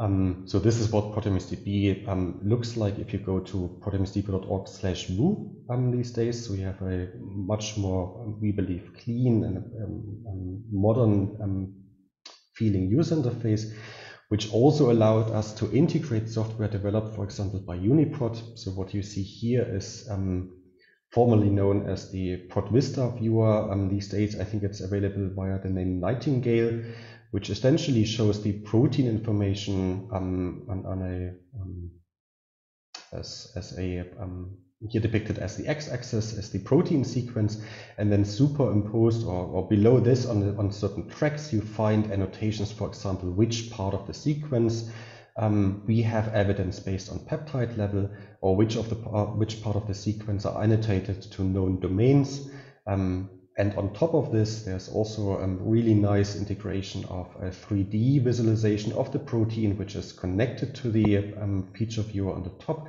which allows us to investigate in particular, for example, where a domain is located in the 3D structure or where a particular modification or maybe also mutation is located in the structure to figure out whether, for example, a phosphorylation may have actually an effect on, on the activity um, of a protein.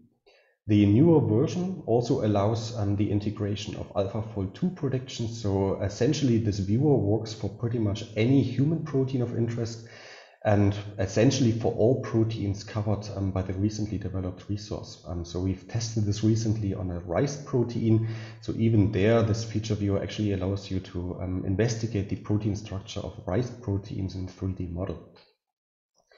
In this process, we have also completely revamped the um, spectrum viewer, um, which now actually pulls predictions of PROSIT um, in real time.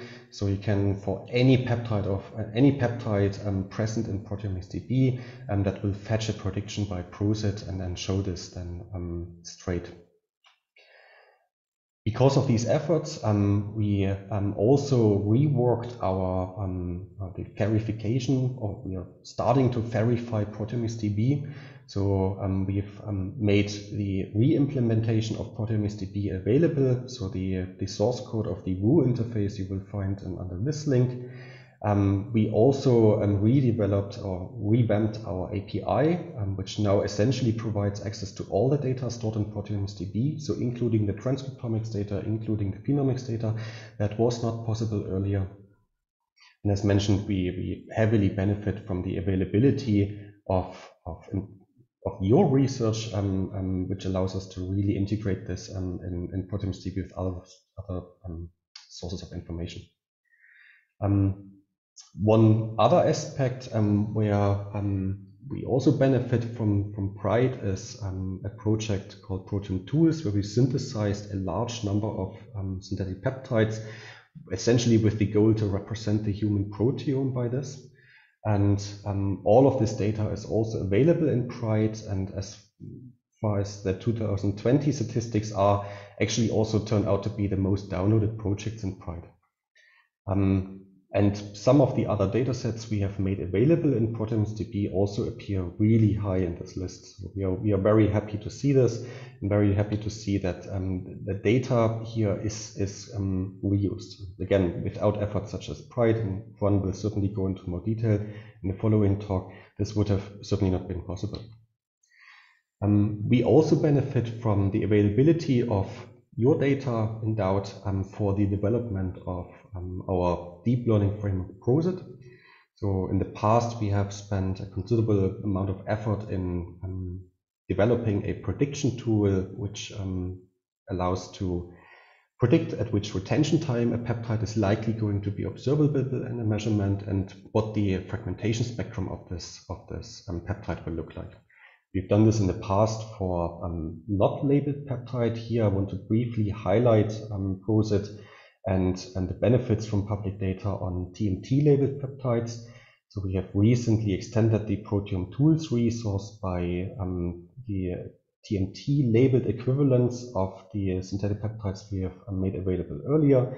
We've retrained our ProSit model for these TMT labeled peptides um, here, slight uh, side note is that this is a model which supports both HCD and CID fragmentation in one model, um, and can as, as um, and see that the prediction um, accuracy is, is uh, quite high.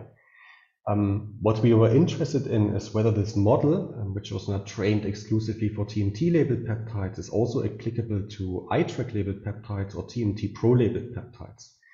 And given that the ProteomeTools project is actually, in fact, um, um, already over, so we don't have any funding for this anymore, we benefited here from going into Pride and looking for interesting data sets which have um, used iTRAQ or TMTpro labeling. We pulled out this data um, and compared the predictions made by Prosit TMT to this. And Somewhat surprisingly, we see that Prosit TMT actually works quite well for iTRAQ labeled peptides and also TMTpro labeled peptides. So here on the left-hand side, so you see two mirror plots examples for iTRAQ 8-plex and TMT 18-plex. And yes, the intensities don't match perfectly, which is somewhat expected given that we have trained this on TMT Classic, so the TMT 6, 10, 11 plex labeling. Um, but it actually still shows a Pearson correlation of 0.9. So this is actually still quite nice. And also the retention time prediction works surprisingly well when using Prosit TMT. Um, we have then also asked the question, well, if we can predict these peptides decently well, um, can we also improve this rescoring mechanism, which was um, um, um, introduced earlier? And what we see also here is that this Prosit TMT model actually works um, surprisingly well on iTRAQ and TMTpro label data. So here you see um, bar plots indicating in blue the overlap between an analysis where um, no rescoring was done or where this rescoring mecha mechanism was used. In green, you see the peptides which are um, added by this rescoring. Um, and we see here on PSM and peptide level for this iTRAQ data set an increase in the range of um, 40 to 50%, which also actually has a drastic effect on the number of protein groups identified. And here we are looking actually at body fluid, so um, don't, don't expect super high numbers here. And the same we also see for TMT 18-plex. So um, without access to the data, validating such hypothesis would have not been possible. So we are super grateful for, for all the efforts and also by the authors of the original studies to make all of the, all of the data available. Um, ultimately, there is, I guess, still um, a bit of work to do. Um, I guess ultimately what we are interested in is um, predicting all relevant peptide properties. So we these days have good predictors for fragmentation. We have good predictors for retention time but we may not really have good predictors yet for which peptides are going to be visible. And we see the first predictors appearing, which um, attempt to predict the uh, relative intensities of peptides. Um, but here also we benefit a lot from having data publicly available because most of these properties can only be learned, particularly when using deep learning, with access to a large amount of that. There are still a couple of challenges involved here, and particularly from my perspective, um, for DB and Prosit, I see two big challenges. Um, generally, in proteomics, I think we still suffer from a huge number of different protocols used. So the way how proteins are extracted, the way data acquisition is done, the way data analysis is done is pretty much different for any two data sets you look at in Pride, um, which really sort of, um, um, limits the ability to integrate different um, different data sets in one resource. So it feels like uh, as a community, we should at some point really start a more concerted effort to um, bringing down the number of protocols um, used in the in the wet lab um, to really benefit from having all of this data available. With this comes also um, still this problem that most of the research published these days um, is often not very extensively annotated. So what we often run into when trying to integrate data into DB is that we find a useful publication. We think this is a cool data set to integrate in DB, And then we can't really do that because there's no information provided which raw file belongs to which sample, which sample belongs to which experiment, and what were the exact conditions under which um, specimen was generated. So what exact drug was used, which dosage of the drug was done, um, which um, treatment time was used. And that seems to be, um, I, I, foresee that this is um, likely only be possible if we start enforcing such metadata um, upon submission of such data sets. Again, the especially the, the dry lab component, so learning properties of those and integrating data from this would really benefit from, from a common standard here.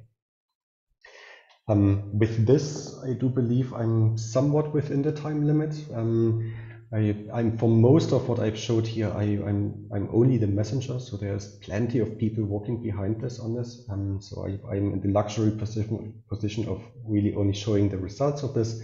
Um, here you see a picture of my new group. So I've recently started my own group at the TU Munich. I'm super grateful for this. I'm super happy to work all with all these um, exceptional um, people. I'm also grateful for, for funding. With that, thank you, and I guess there will be time for questions later. Okay, thank you very much, Mathias. Uh, we'll keep the questions until the end of the session, and we will ask the questions of both you and Juanan. Uh, there's already one in the chat, but we'll keep that for, for later. And so without much further ado, I, uh, I think it's time to listen to Juanan. We've heard you mention Pride several times, Mathias. Uh, obviously, Pride is one of the cornerstones of data transmission uh, and sharing, if you like, in proteomics. And uh, it is interesting to see what Juan Antonio has to tell us about Pride data reuse, uh, including and on top of what we have seen already. So Juan, the floor is entirely yours.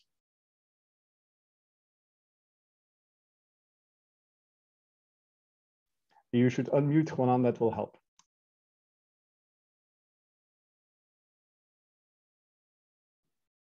Sorry.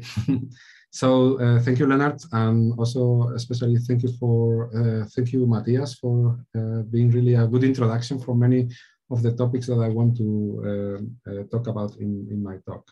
So um, this is the um, overview of what we, I want to cover in my talk. I will give a short introduction to Pride on ProteomeXchange. Then I will make a kind of uh, educational uh, route about uh, the types of data reuse that exist. I think it's interesting for those of you that are maybe not that experts in the field. Then I will talk about uh, one problem that just has been mentioned by Mathias, improving metadata annotation in public data sets. And then I will uh, highlight, but just very briefly, some efforts that we are doing locally to disseminate and to reuse uh, public proteomics data. Okay, so again, Mathias was a good introduction.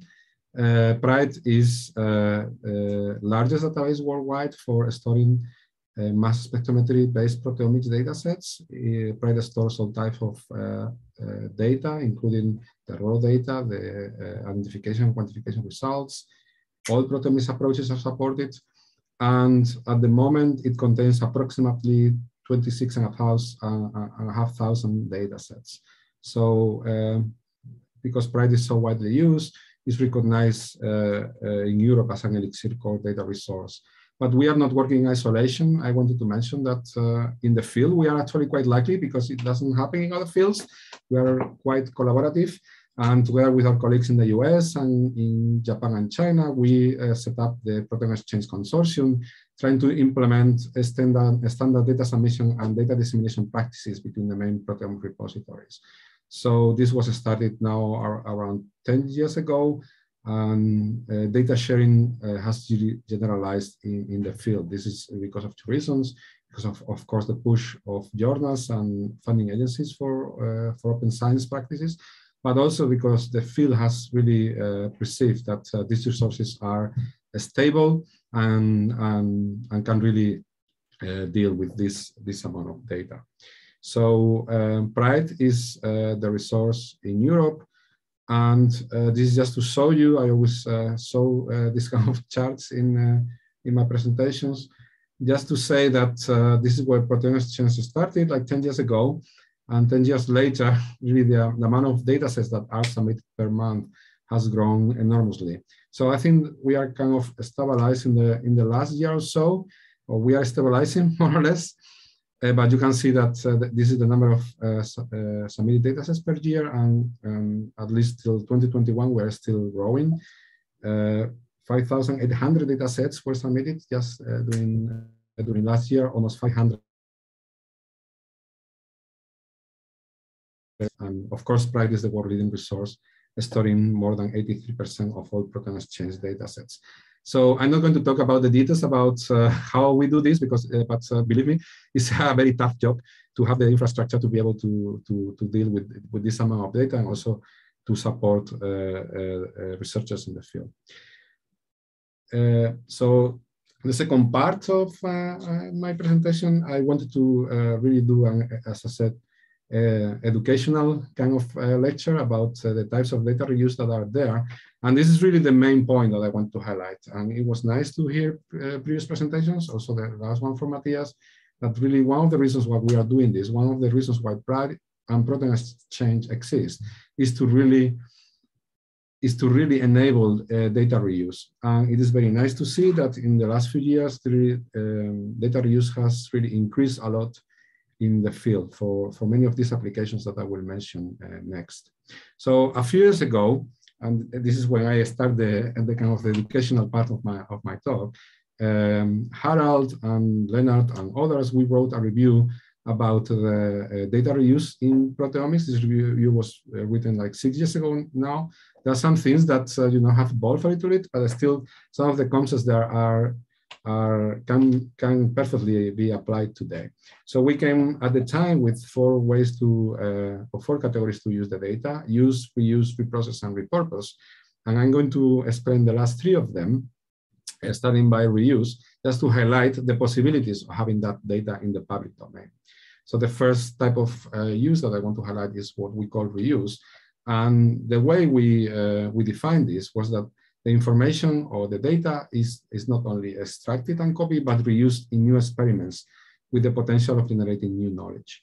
And I want to highlight that uh, these uh, um, two categories of uh, data reuse in this context, the building of spectral libraries and the benchmarking of tools and software. I mean, many of you are familiar with the spectral libraries. There are a lot that are created and uh, by, for instance, different proteomics repositories, by NIST, they're really kind of uh, considered to be the, the gold standard by many in the field. But uh, this is only possible because there are a lot of data sets in the public domain that enable the construction of these spectral libraries. And of course, the popularity of spectral libraries has increased in, in, in recent years because they can be used to analyze data dependent data independent acquisition experiments. And then, of course, there is the use of benchmarking software and tools. This is what uh, we also have to do, all bioinformaticians, when we build a new tool, we need to compare it to other tools that existed in the past. And for doing this, um, there are, of course, uh, the need to, uh, to apply to, to data sets. So that's why many data sets are reused to benchmark new algorithms and on software. So again, comparison with previous tools is essential when developing or, or assessing new tools. So usually the raw data is used as the base, so a new uh, analysis is performed, but it's not always the case. And this is really, there are a lot of examples.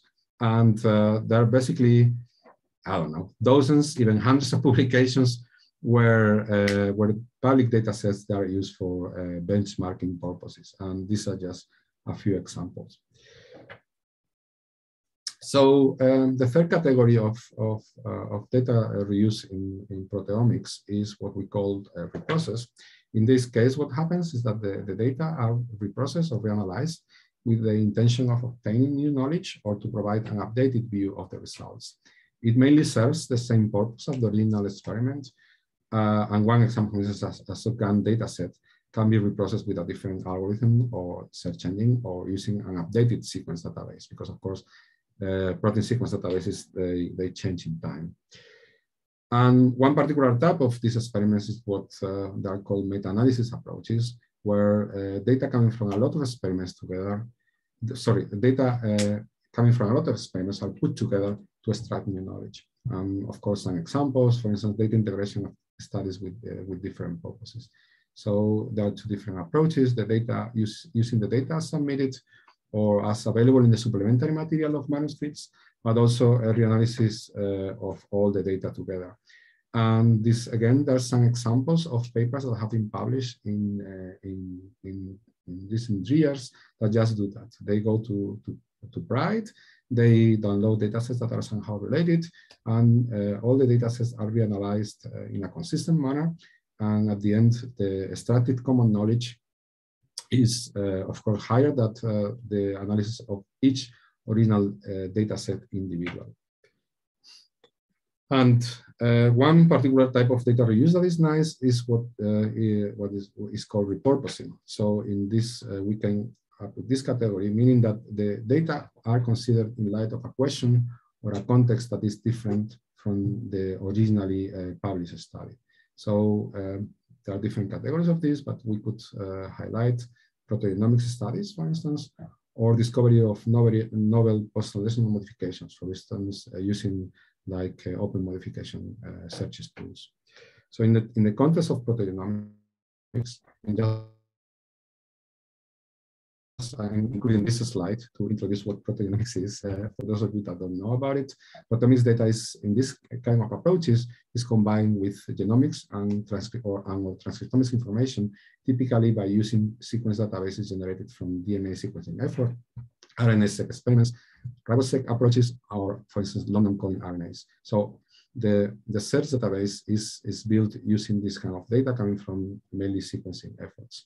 Um, there are many applications for, for this type of, of studies, uh, but uh, one of them that has been really popular uh, using public data sets is uh, improvement in genome annotation efforts. So of course, uh, genome annotation is something that is very dynamic and that changes and uh, new types of experimental evidences are um, are looked all the time in order to improve in the gene models in many cases. And uh, instead of generating new data in order to be able to do that, you can again come to Pride, uh, download the data sets that you consider to be the most in, uh, interesting ones, and reanalyze them in a, in a, in a consistent manner using this kind of uh, databases generated in the way that I explained before. So this has been done for uh, human data sets, and there are some even resources that have been uh, kind of set up doing this like uh, uh, small open reading frames or the London Calling encyclopedia. And, and there are also individual papers or research papers that have been, have been based on, on this kind of data reuse approaches. It has been done uh, for human, and this has been really uh, historically quite relevant, but in the last years, this has been extended to, uh, of course, model organisms like mouse, rat, Drosophila, and actually other microorganisms as well, like uh, Mycobacterium tuberculosis or Helicobacter pylori, rice, etc. Again, uh, these are some publications that uh, have been published uh, in, in, in, in, recent years, again, by many different research groups when uh, where this has been uh, done. And uh, in the last few years, it has kind of a, a, kind of new category. We didn't include this in, in this original paper when we wrote it.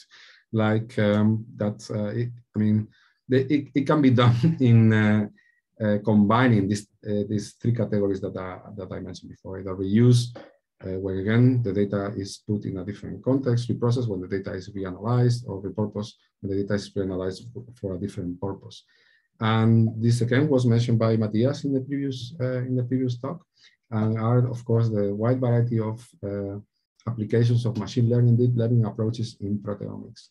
And in this case, like again, it was highlighted before by, uh, by Mathias, but also by Arthur, uh, public data sets are often reused as, uh, as training sets. And of course, this can be used to improve um, different aspects of the proteomics uh, workflow, like uh, digestion or liquid chromatography or mobility or prediction of peptide fragmentation, as it was mentioned before by, uh, by, by, Mathias, or peptide protein identification, etc. But what is also more interesting is that there are other type of um, uh, data integration studies where uh, these kind of approaches are used to predict uh, kind of biological properties.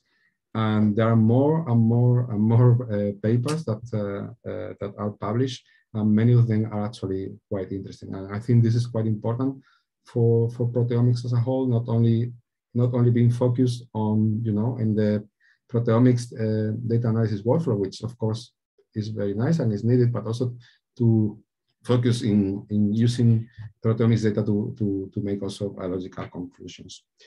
So um, just uh, to uh, uh, kind of uh, summarize uh, this part, or not summarize, but at least to come with some conclusions at the end, uh, there's a lot of public data reuse that has been already done, but of course there are some bottlenecks that I would like to highlight here.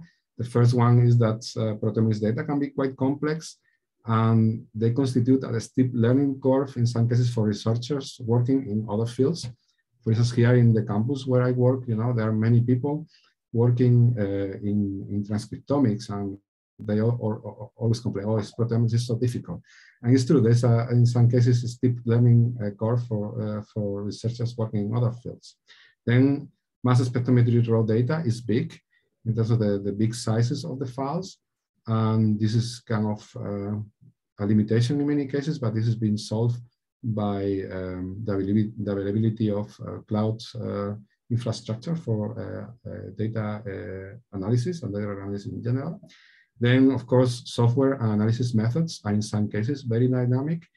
That means that um, one tool could change very rapidly. And of course, there is some work in adapting uh, um, uh, new tools or different versions of tools to uh, data analysis. Then there is the problem that uh, of MS vendors that Windows is often a requirement for analysis software, and it doesn't really fit very well with this other statement that I mentioned before, that in some cases, uh, because the data is very big, there is the need to have uh, like cloud-based infrastructure in order to be able to analyze or reanalyze this data and um, and the dependency on Windows is a problem for this. But uh, luckily, this is changing, and there are some tools in in, in recent years that have made uh, much more uh, easy. Uh, that uh, that I mean that because we don't have to rely on Windows as as much as we had to in, in the past. And then the last kind of bottleneck that I wanted to highlight uh, is the lack of enough metadata annotations in public data sets and again, it has been mentioned before by Mathias, and is the focus of the, of the next section of my talk. So, uh, which is devoted to improving metadata annotation of public data sets. So I think that it's important to, uh, to, um, to give a little bit of historical perspective to say that uh, really till, till very recently, uh, just a few years ago, uh, uh, it was very difficult. So there were really not so many uh, data sets in the public domain. It was only when ProteomeXchange was started and there was this push by journals and, and funding agencies, and also, I mean, by the community as a whole, that really uh, data sharing uh, got uh, popular in the field. So at the time when we started ProteomeXchange, our main objective at the time was really, oh, we need to make data sharing popular. So at the time, also because proteomics is really an analytical discipline, and uh, the focus was not that much put on the uh, metadata at the level of the sample. What we wanted to achieve at the time, again, is that data sharing uh, became popular. And then kind of our idea was, yes, once we do, uh, once we do this, then we can raise the bar in terms of, in terms of metadata. So at the moment, what is needed for performing a submission to PRIDE or any ProteomeXchange resource is a, a data set general description that includes information about, uh, you know, the submitter, the organism, the tissues that are involved there. and, uh, and post-translational modifications, data processing, and, and similar things, but they are all at the level of the data set. And then we have all the data files, like the raw MS instrument files, the, res the results, or other type of files. But what is really missing there is the link between, you know, the files and the samples. This always been, uh, as I said, missing because of the reason that I mentioned before. It was not our decision. It was also the decision of the, the community, as I always say, because we had a, a number of meetings to, to discuss this. And um, as Mathias again highlighted before, this is essential work required for improving reuse of, uh, of PRIDE data sets.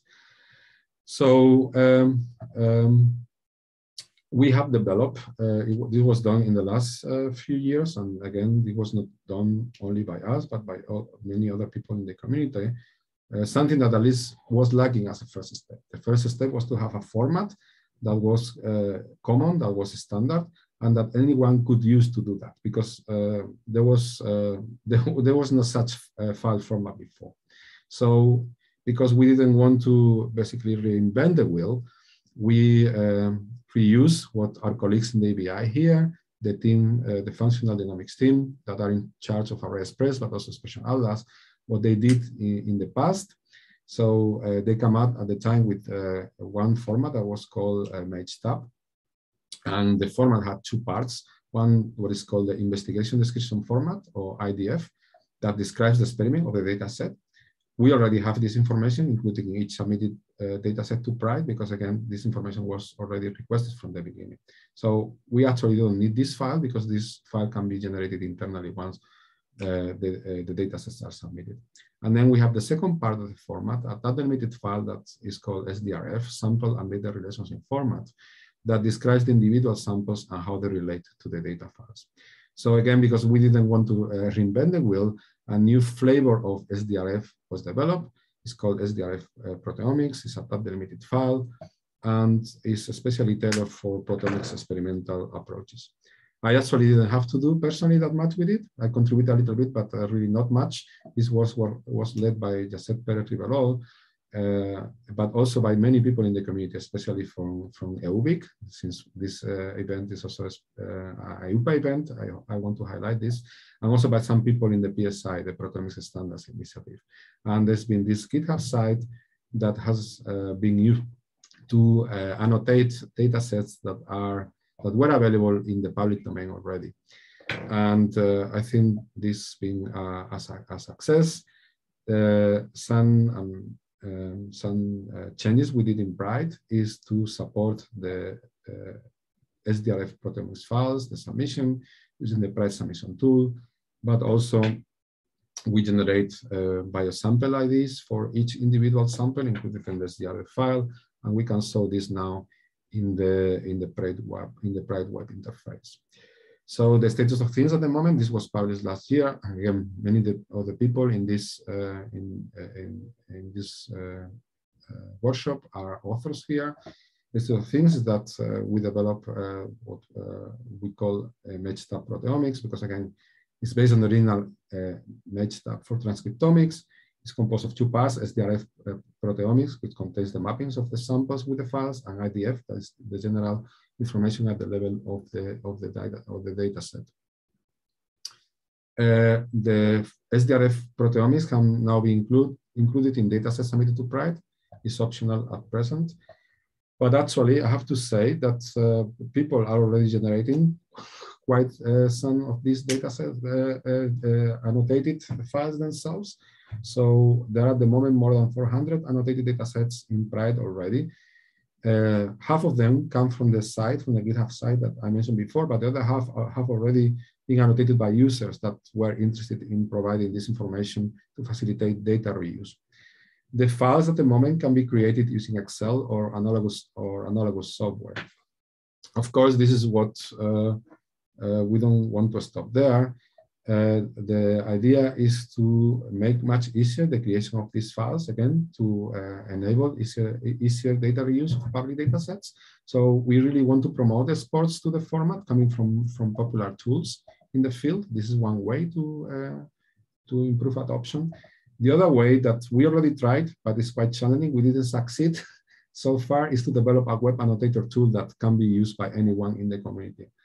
We had an initial version, but we, we didn't think it was good enough because as soon as the uh, dataset contains many files, it's actually, it's actually quite, quite challenging to, to, to make it work in, in, in the way that we, we like things to work. So so we will keep trying, I think. Maybe at some point we'll be able to uh, provide this to the community, but at the moment, uh, at, at, the moment, uh, this is uh, still work in progress.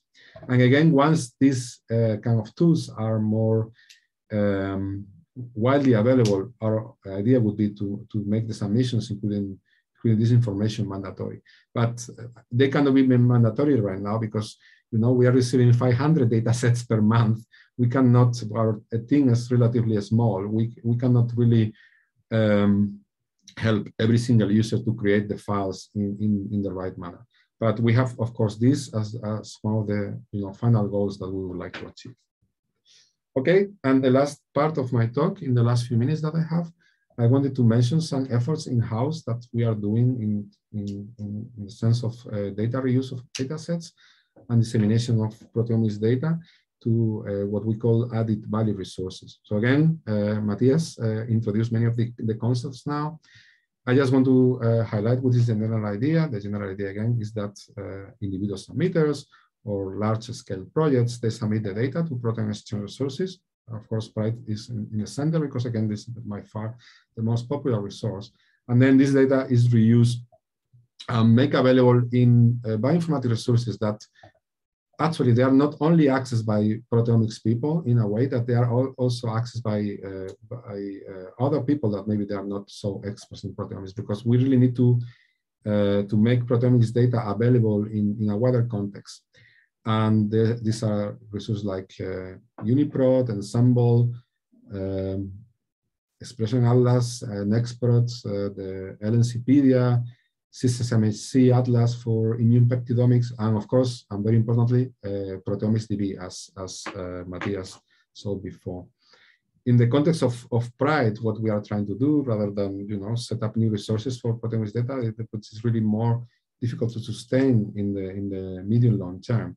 What we are uh, uh, going or what we're trying to do is take advantage of our location at the at the EBI and to work with uh, some colleagues in the institute so that we can integrate proteomics data with other types of uh, data, omics data in popular bioinformatics resources. So again, proteomics data is made more accessible to biologists.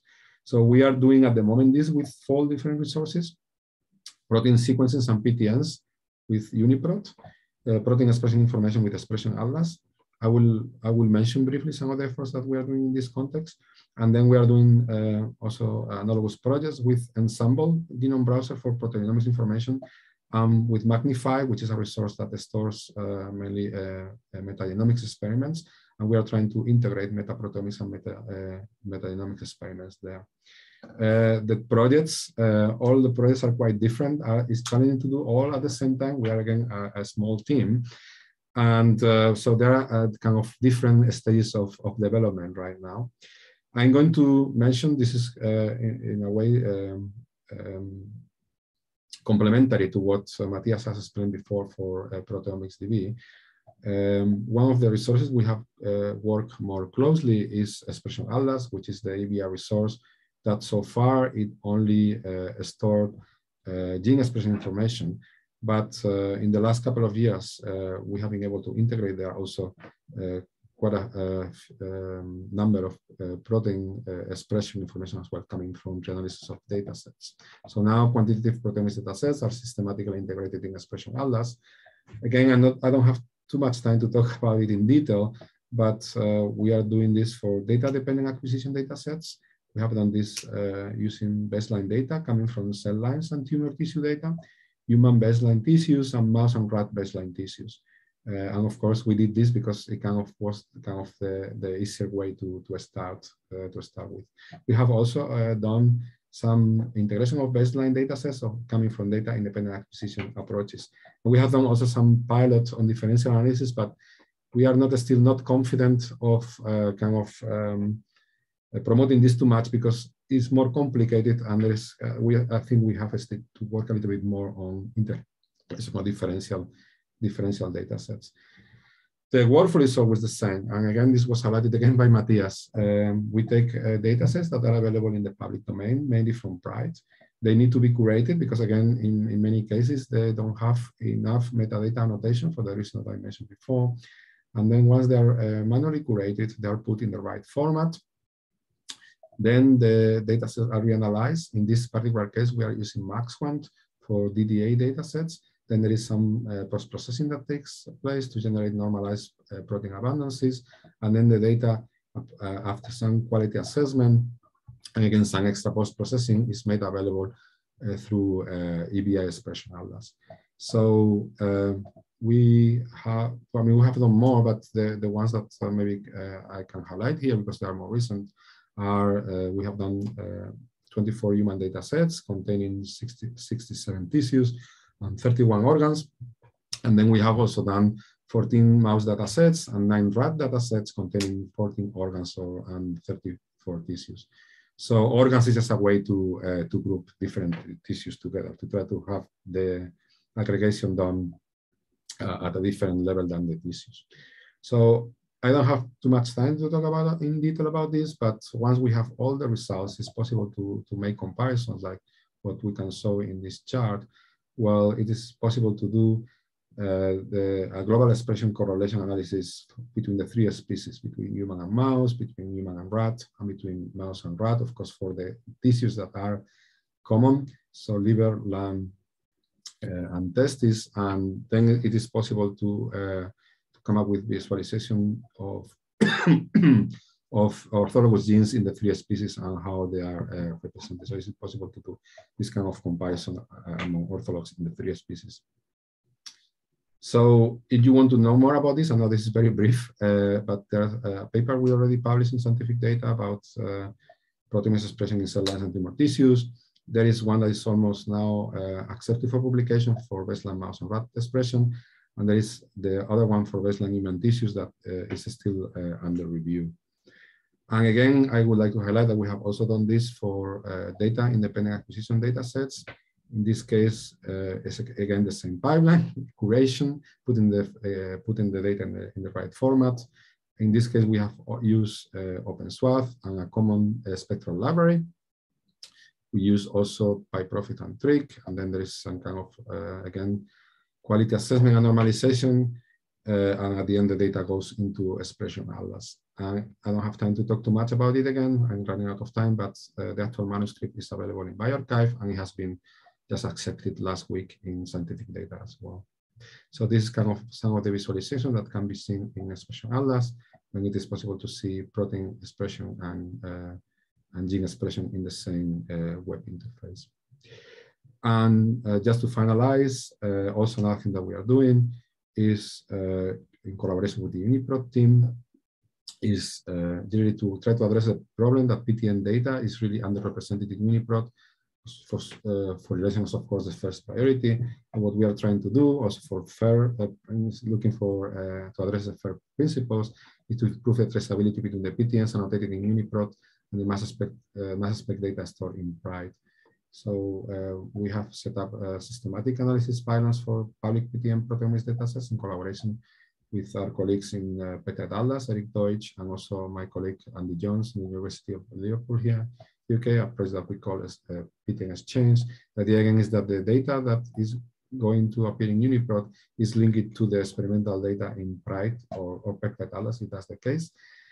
So, so far what I can report for this is a benchmarking paper we have tried to, uh, to do for improving the reliability of phosphorylation, uh, data analysis that is available in bioRxiv. Then we have done two uh, first studies for uh, rice uh, phosphorylation and plasmodium falciparum phosphorylation. And also we have developed uh, kind of uh, initial version of data formats and analysis guidelines looking for community agreement. So because we see this as a ongoing thing in the, in the medium long term. Okay, and just to finalize this, that um, that uh, many of these ideas came from a previous work in collaboration with Pedro Beltrao's group, uh, uh, also when he was at the EBI. But I'm running out of time, so just to summarize, Pride Archive and ProteomeXchange, uh, there is really increasing amount of data available in the public domain. Uh, they really enable big data approaches in proteomics. There are uh, improvements in metadata that are required to enable a better reuse of data sets. Uh, I mentioned the improvements here in the development of uh, MAGE-TAB proteomics file format.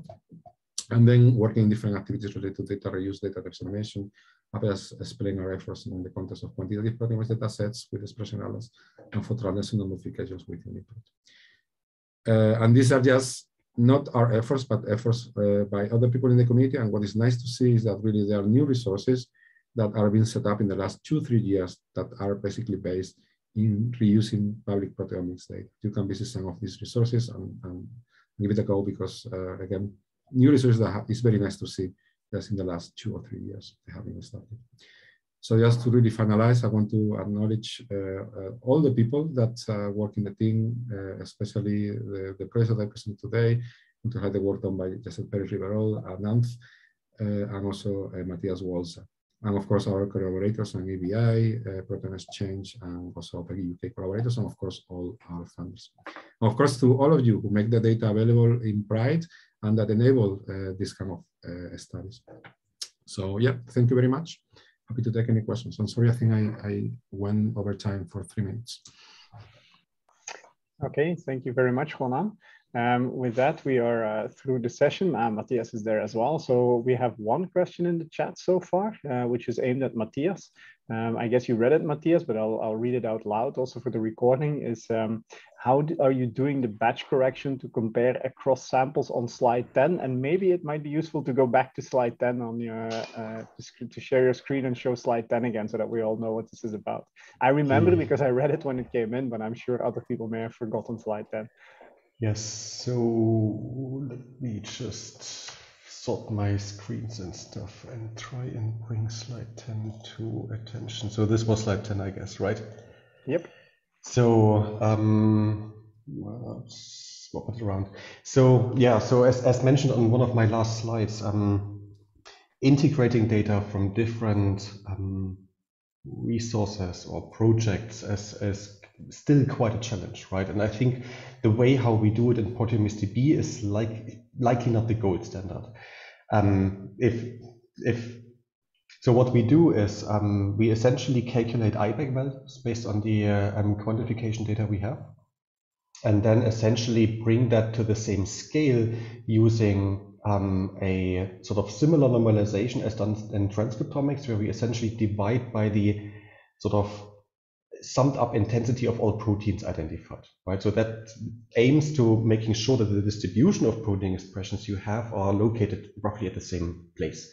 So essentially what we do is we transform these iBAQ values into iBAQ values which are expressed by parts per million, right? So this protein is um, present in that sample um, 250 parts per million with respect to all the proteins expressed in that sample that at least makes sure, makes we have tested this that seems to make sure that the the plain numbers we get are in are independent of the depth at which the proteome was analyzed.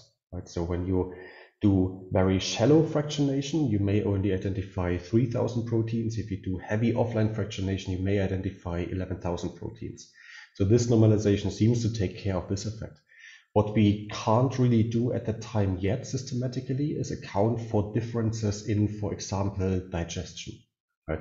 So if you use different digestion protocols where um, somebody is doing an overnight digest and, and some other and some other project there was the, was a one hour digest using some pressure cooker, we can't really account for that.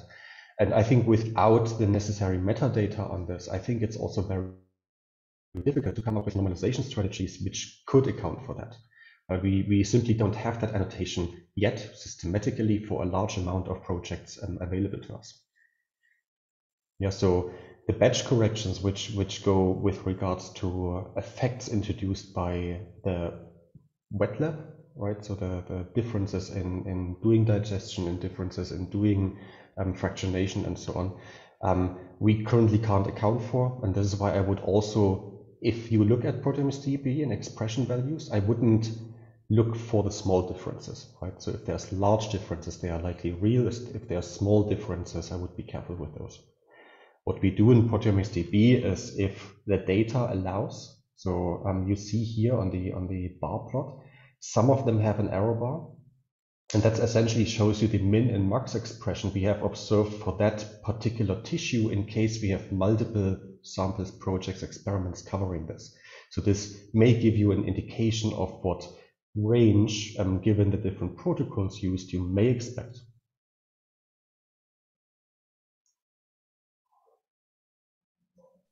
Yep. Okay. So if uh, maybe I can comment a little bit on that. Oh, yeah, sure. Go ahead, Juan. So I, because I didn't have time to explain in detail, so I just I just I, I can just explain the approach that we follow. It's not by any means perfect because that, I don't think there's the perfect way to do this. But uh, on top of what Mathias mentioned, that normalizing per the normal uh, the total number of intensity per round, what we do afterwards is that we basically create a distribution of intensities uh, across the, the proteins and then create different bins we put the proteins in, in different bins and then we assign you know one one value to each bin. We have tried different different uh, you know number of bins. At the end uh, we came up with five as a kind of optimal number that uh, works well for us. And uh, it helps to make the data more comparable. In some cases also reduces the number of batch effects. Uh, i'm not saying this is perfect. There has the limitation that of course the, the data uh, um, you know, the data, um, the sample preparation can be different, especially between experiments where there is fractionation and uh, those that where there is no fractionation.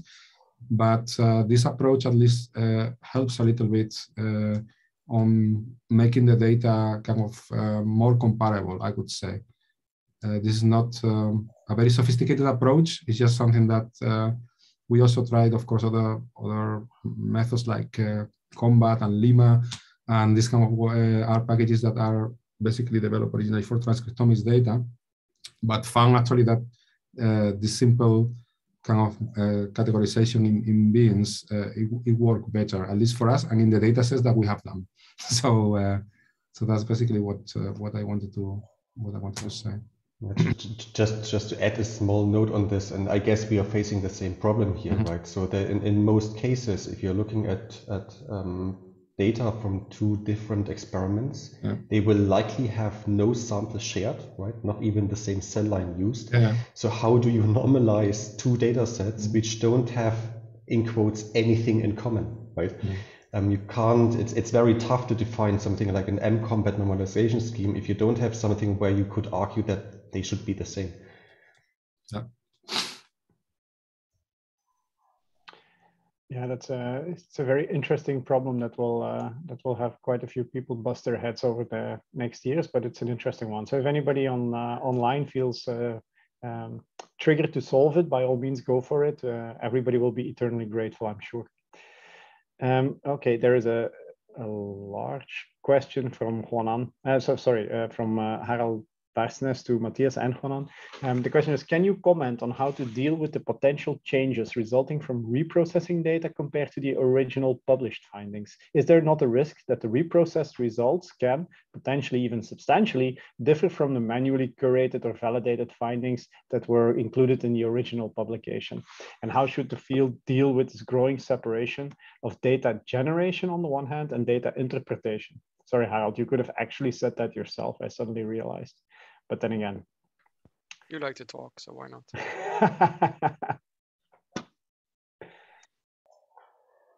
uh, I can start, I guess, and then we can sort of try and ping pong, I guess, a bit, right?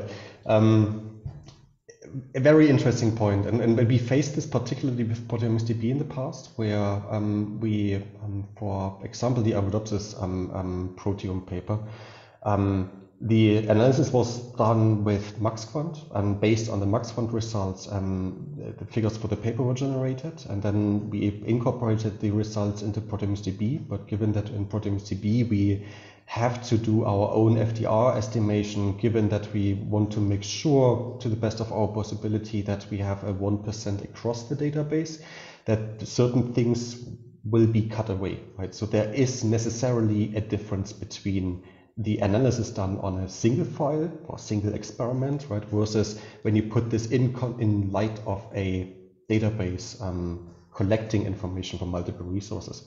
It feels like there is no way to do to to circumvent that, right? And we may just have to accept this to a certain degree. Because the alternative approach is that we import everything in ProteomicsDB, and we have done this for a recent mouse um, study, and then export the expression values from this and base the figures on this. But then technically we are not allowed to import anything for mouse ever again, right? Because otherwise we will risk kicking out proteins or peptides or adding new ones um, once we have additional identification or, or, or, less confidence in some identifications, right? So it feels like, and again, one of these challenges where where more clever um, um, brains may find a solution to um, is, is open open issues. Yeah, I mean, I think that that problem is difficult. it's very difficult. So, I mean, to me, it's more. I mean, first of all, I think it's worth saying that this is not a problem unique to proteomics. I mean, there are other omics technologies, and especially, you know, the the more kind of the less mature one omics technology is, there there is more uh, space for uh, getting different results when new software arises. So, just to really say that this is not a problem just for proteomics, is for, for, for omics in general. and to me, the way to approach this is to be uh, transparent. So to say, uh, you know, we obtained these results uh, when we we did the analysis this way, and this involves providing enough metadata, but also providing maybe even you know the exact version of the tool that was used in a in, in, in maybe in a container, something that uh, you know can be reproduced by others, and um, just also develop infrastructure that can really highlight the differences between the different versions of analysis, which in, indeed is very challenging already for uh, for for for mass spec in, in general. So um, I don't know how to uh, deal with this from a kind of philosophical perspective. Uh, because I guess that there are many different possible scenarios.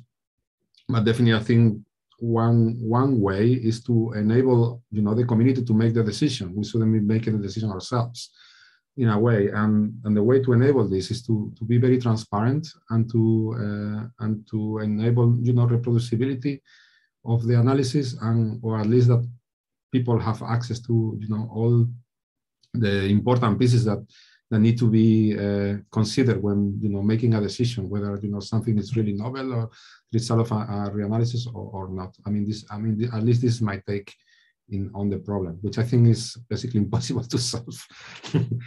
but uh, but maybe other people have other other points of view. yeah, I mean I agree. It's it's a big it's a big challenge for sure. Um, but I mean to the last part of my, my question in terms of separating this, the generation of data now is, is I mean, the way it's been done in the past, at least, is you, you generate your data, you write publication based on data, and then you, you publish, right?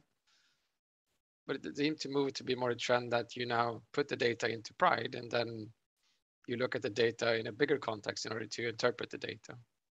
So, so how do we how do we deal with that? Because if a, if one data set is not enough anymore to interpret the findings, then that is I think shift, that, right? At least from my perspective, Harald, the people that are doing that is only, uh, but again, I could be wrong. So this is just my opinion. It's a small subset of the community as a whole. you know, many people, they go from project to project, from publication to publication, because this is the way science works. You need, you need to get your PhD, you need to get a new publication, you need to get a new grant, you need to get a new project. It's only a subset. I mean, many of the people that are in this in this call, the, the really the, the people that can really uh, afford to go back to the data as a store and to you know and to uh, to to to do new findings with it. I don't think it's the normal lab, in a way, the normal kind of uh, experimental lab that can afford to do this. So, so you, don't, you don't think there will be a requirement in the future to require bigger and bigger data sets because they are available?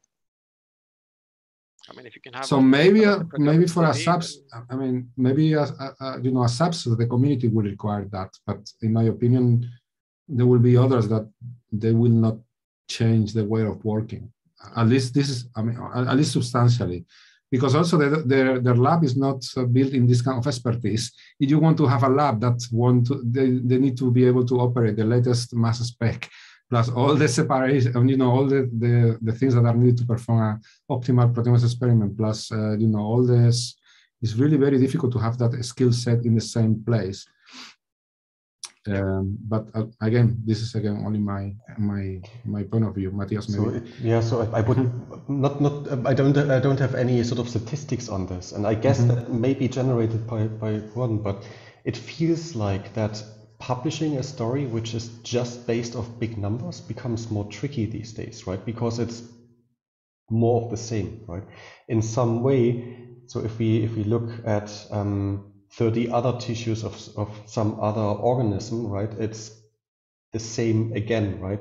It's nothing. So it feels like it's more more difficult these days to just simply go for a large number and going to actually that the cool proteomics applications are the small ones investigating one particular problem and not go sort of in in in, in sort of branch out a lot if, if that makes sense. Yeah. Okay it's probably, a, big, it's probably a bigger discussion for some future time yeah, I was going to say if this were a real meeting, this is where I would advocate taking this discussion into the bar. Um, unfortunately, that might be a little bit difficult. The three of you are a little bit far away from each other to uh, to find a, a convenient bar. Um, however, the next time we meet in person, um, uh, we can do that. Um, and actually, I have some very last slides about EPIC-XS before I send you all on your way, uh, which offers you a potential opportunity to go to a bar. Um, so let me just very quickly show you again. The next EPIC-XS online webinar uh, will be about integrating proteomics and genomics technologies on Thursday, May 19. And um, you can go to the EPIC-XS website to register for that webinar, just like for this one. And then, of course, uh, the bar thing is the um, a live workshop on the 26th to 28th of September in Tartu, where again, you are very welcome and you can register on, uh, online on the EPIC-XS website. So with these two things reminded for you, I think we can uh, put a stop into this uh, webinar. Thank you all very, very much to the speakers for being here today. Thank you very, very much to the audience for being here. And uh, I look forward to encountering you either at one of the next EPIC-XS webinars and or in real life at one of the many meetings uh, that will hopefully spring up again um, in our field. So thank you all very much and uh, yeah, enjoy the rest of your day.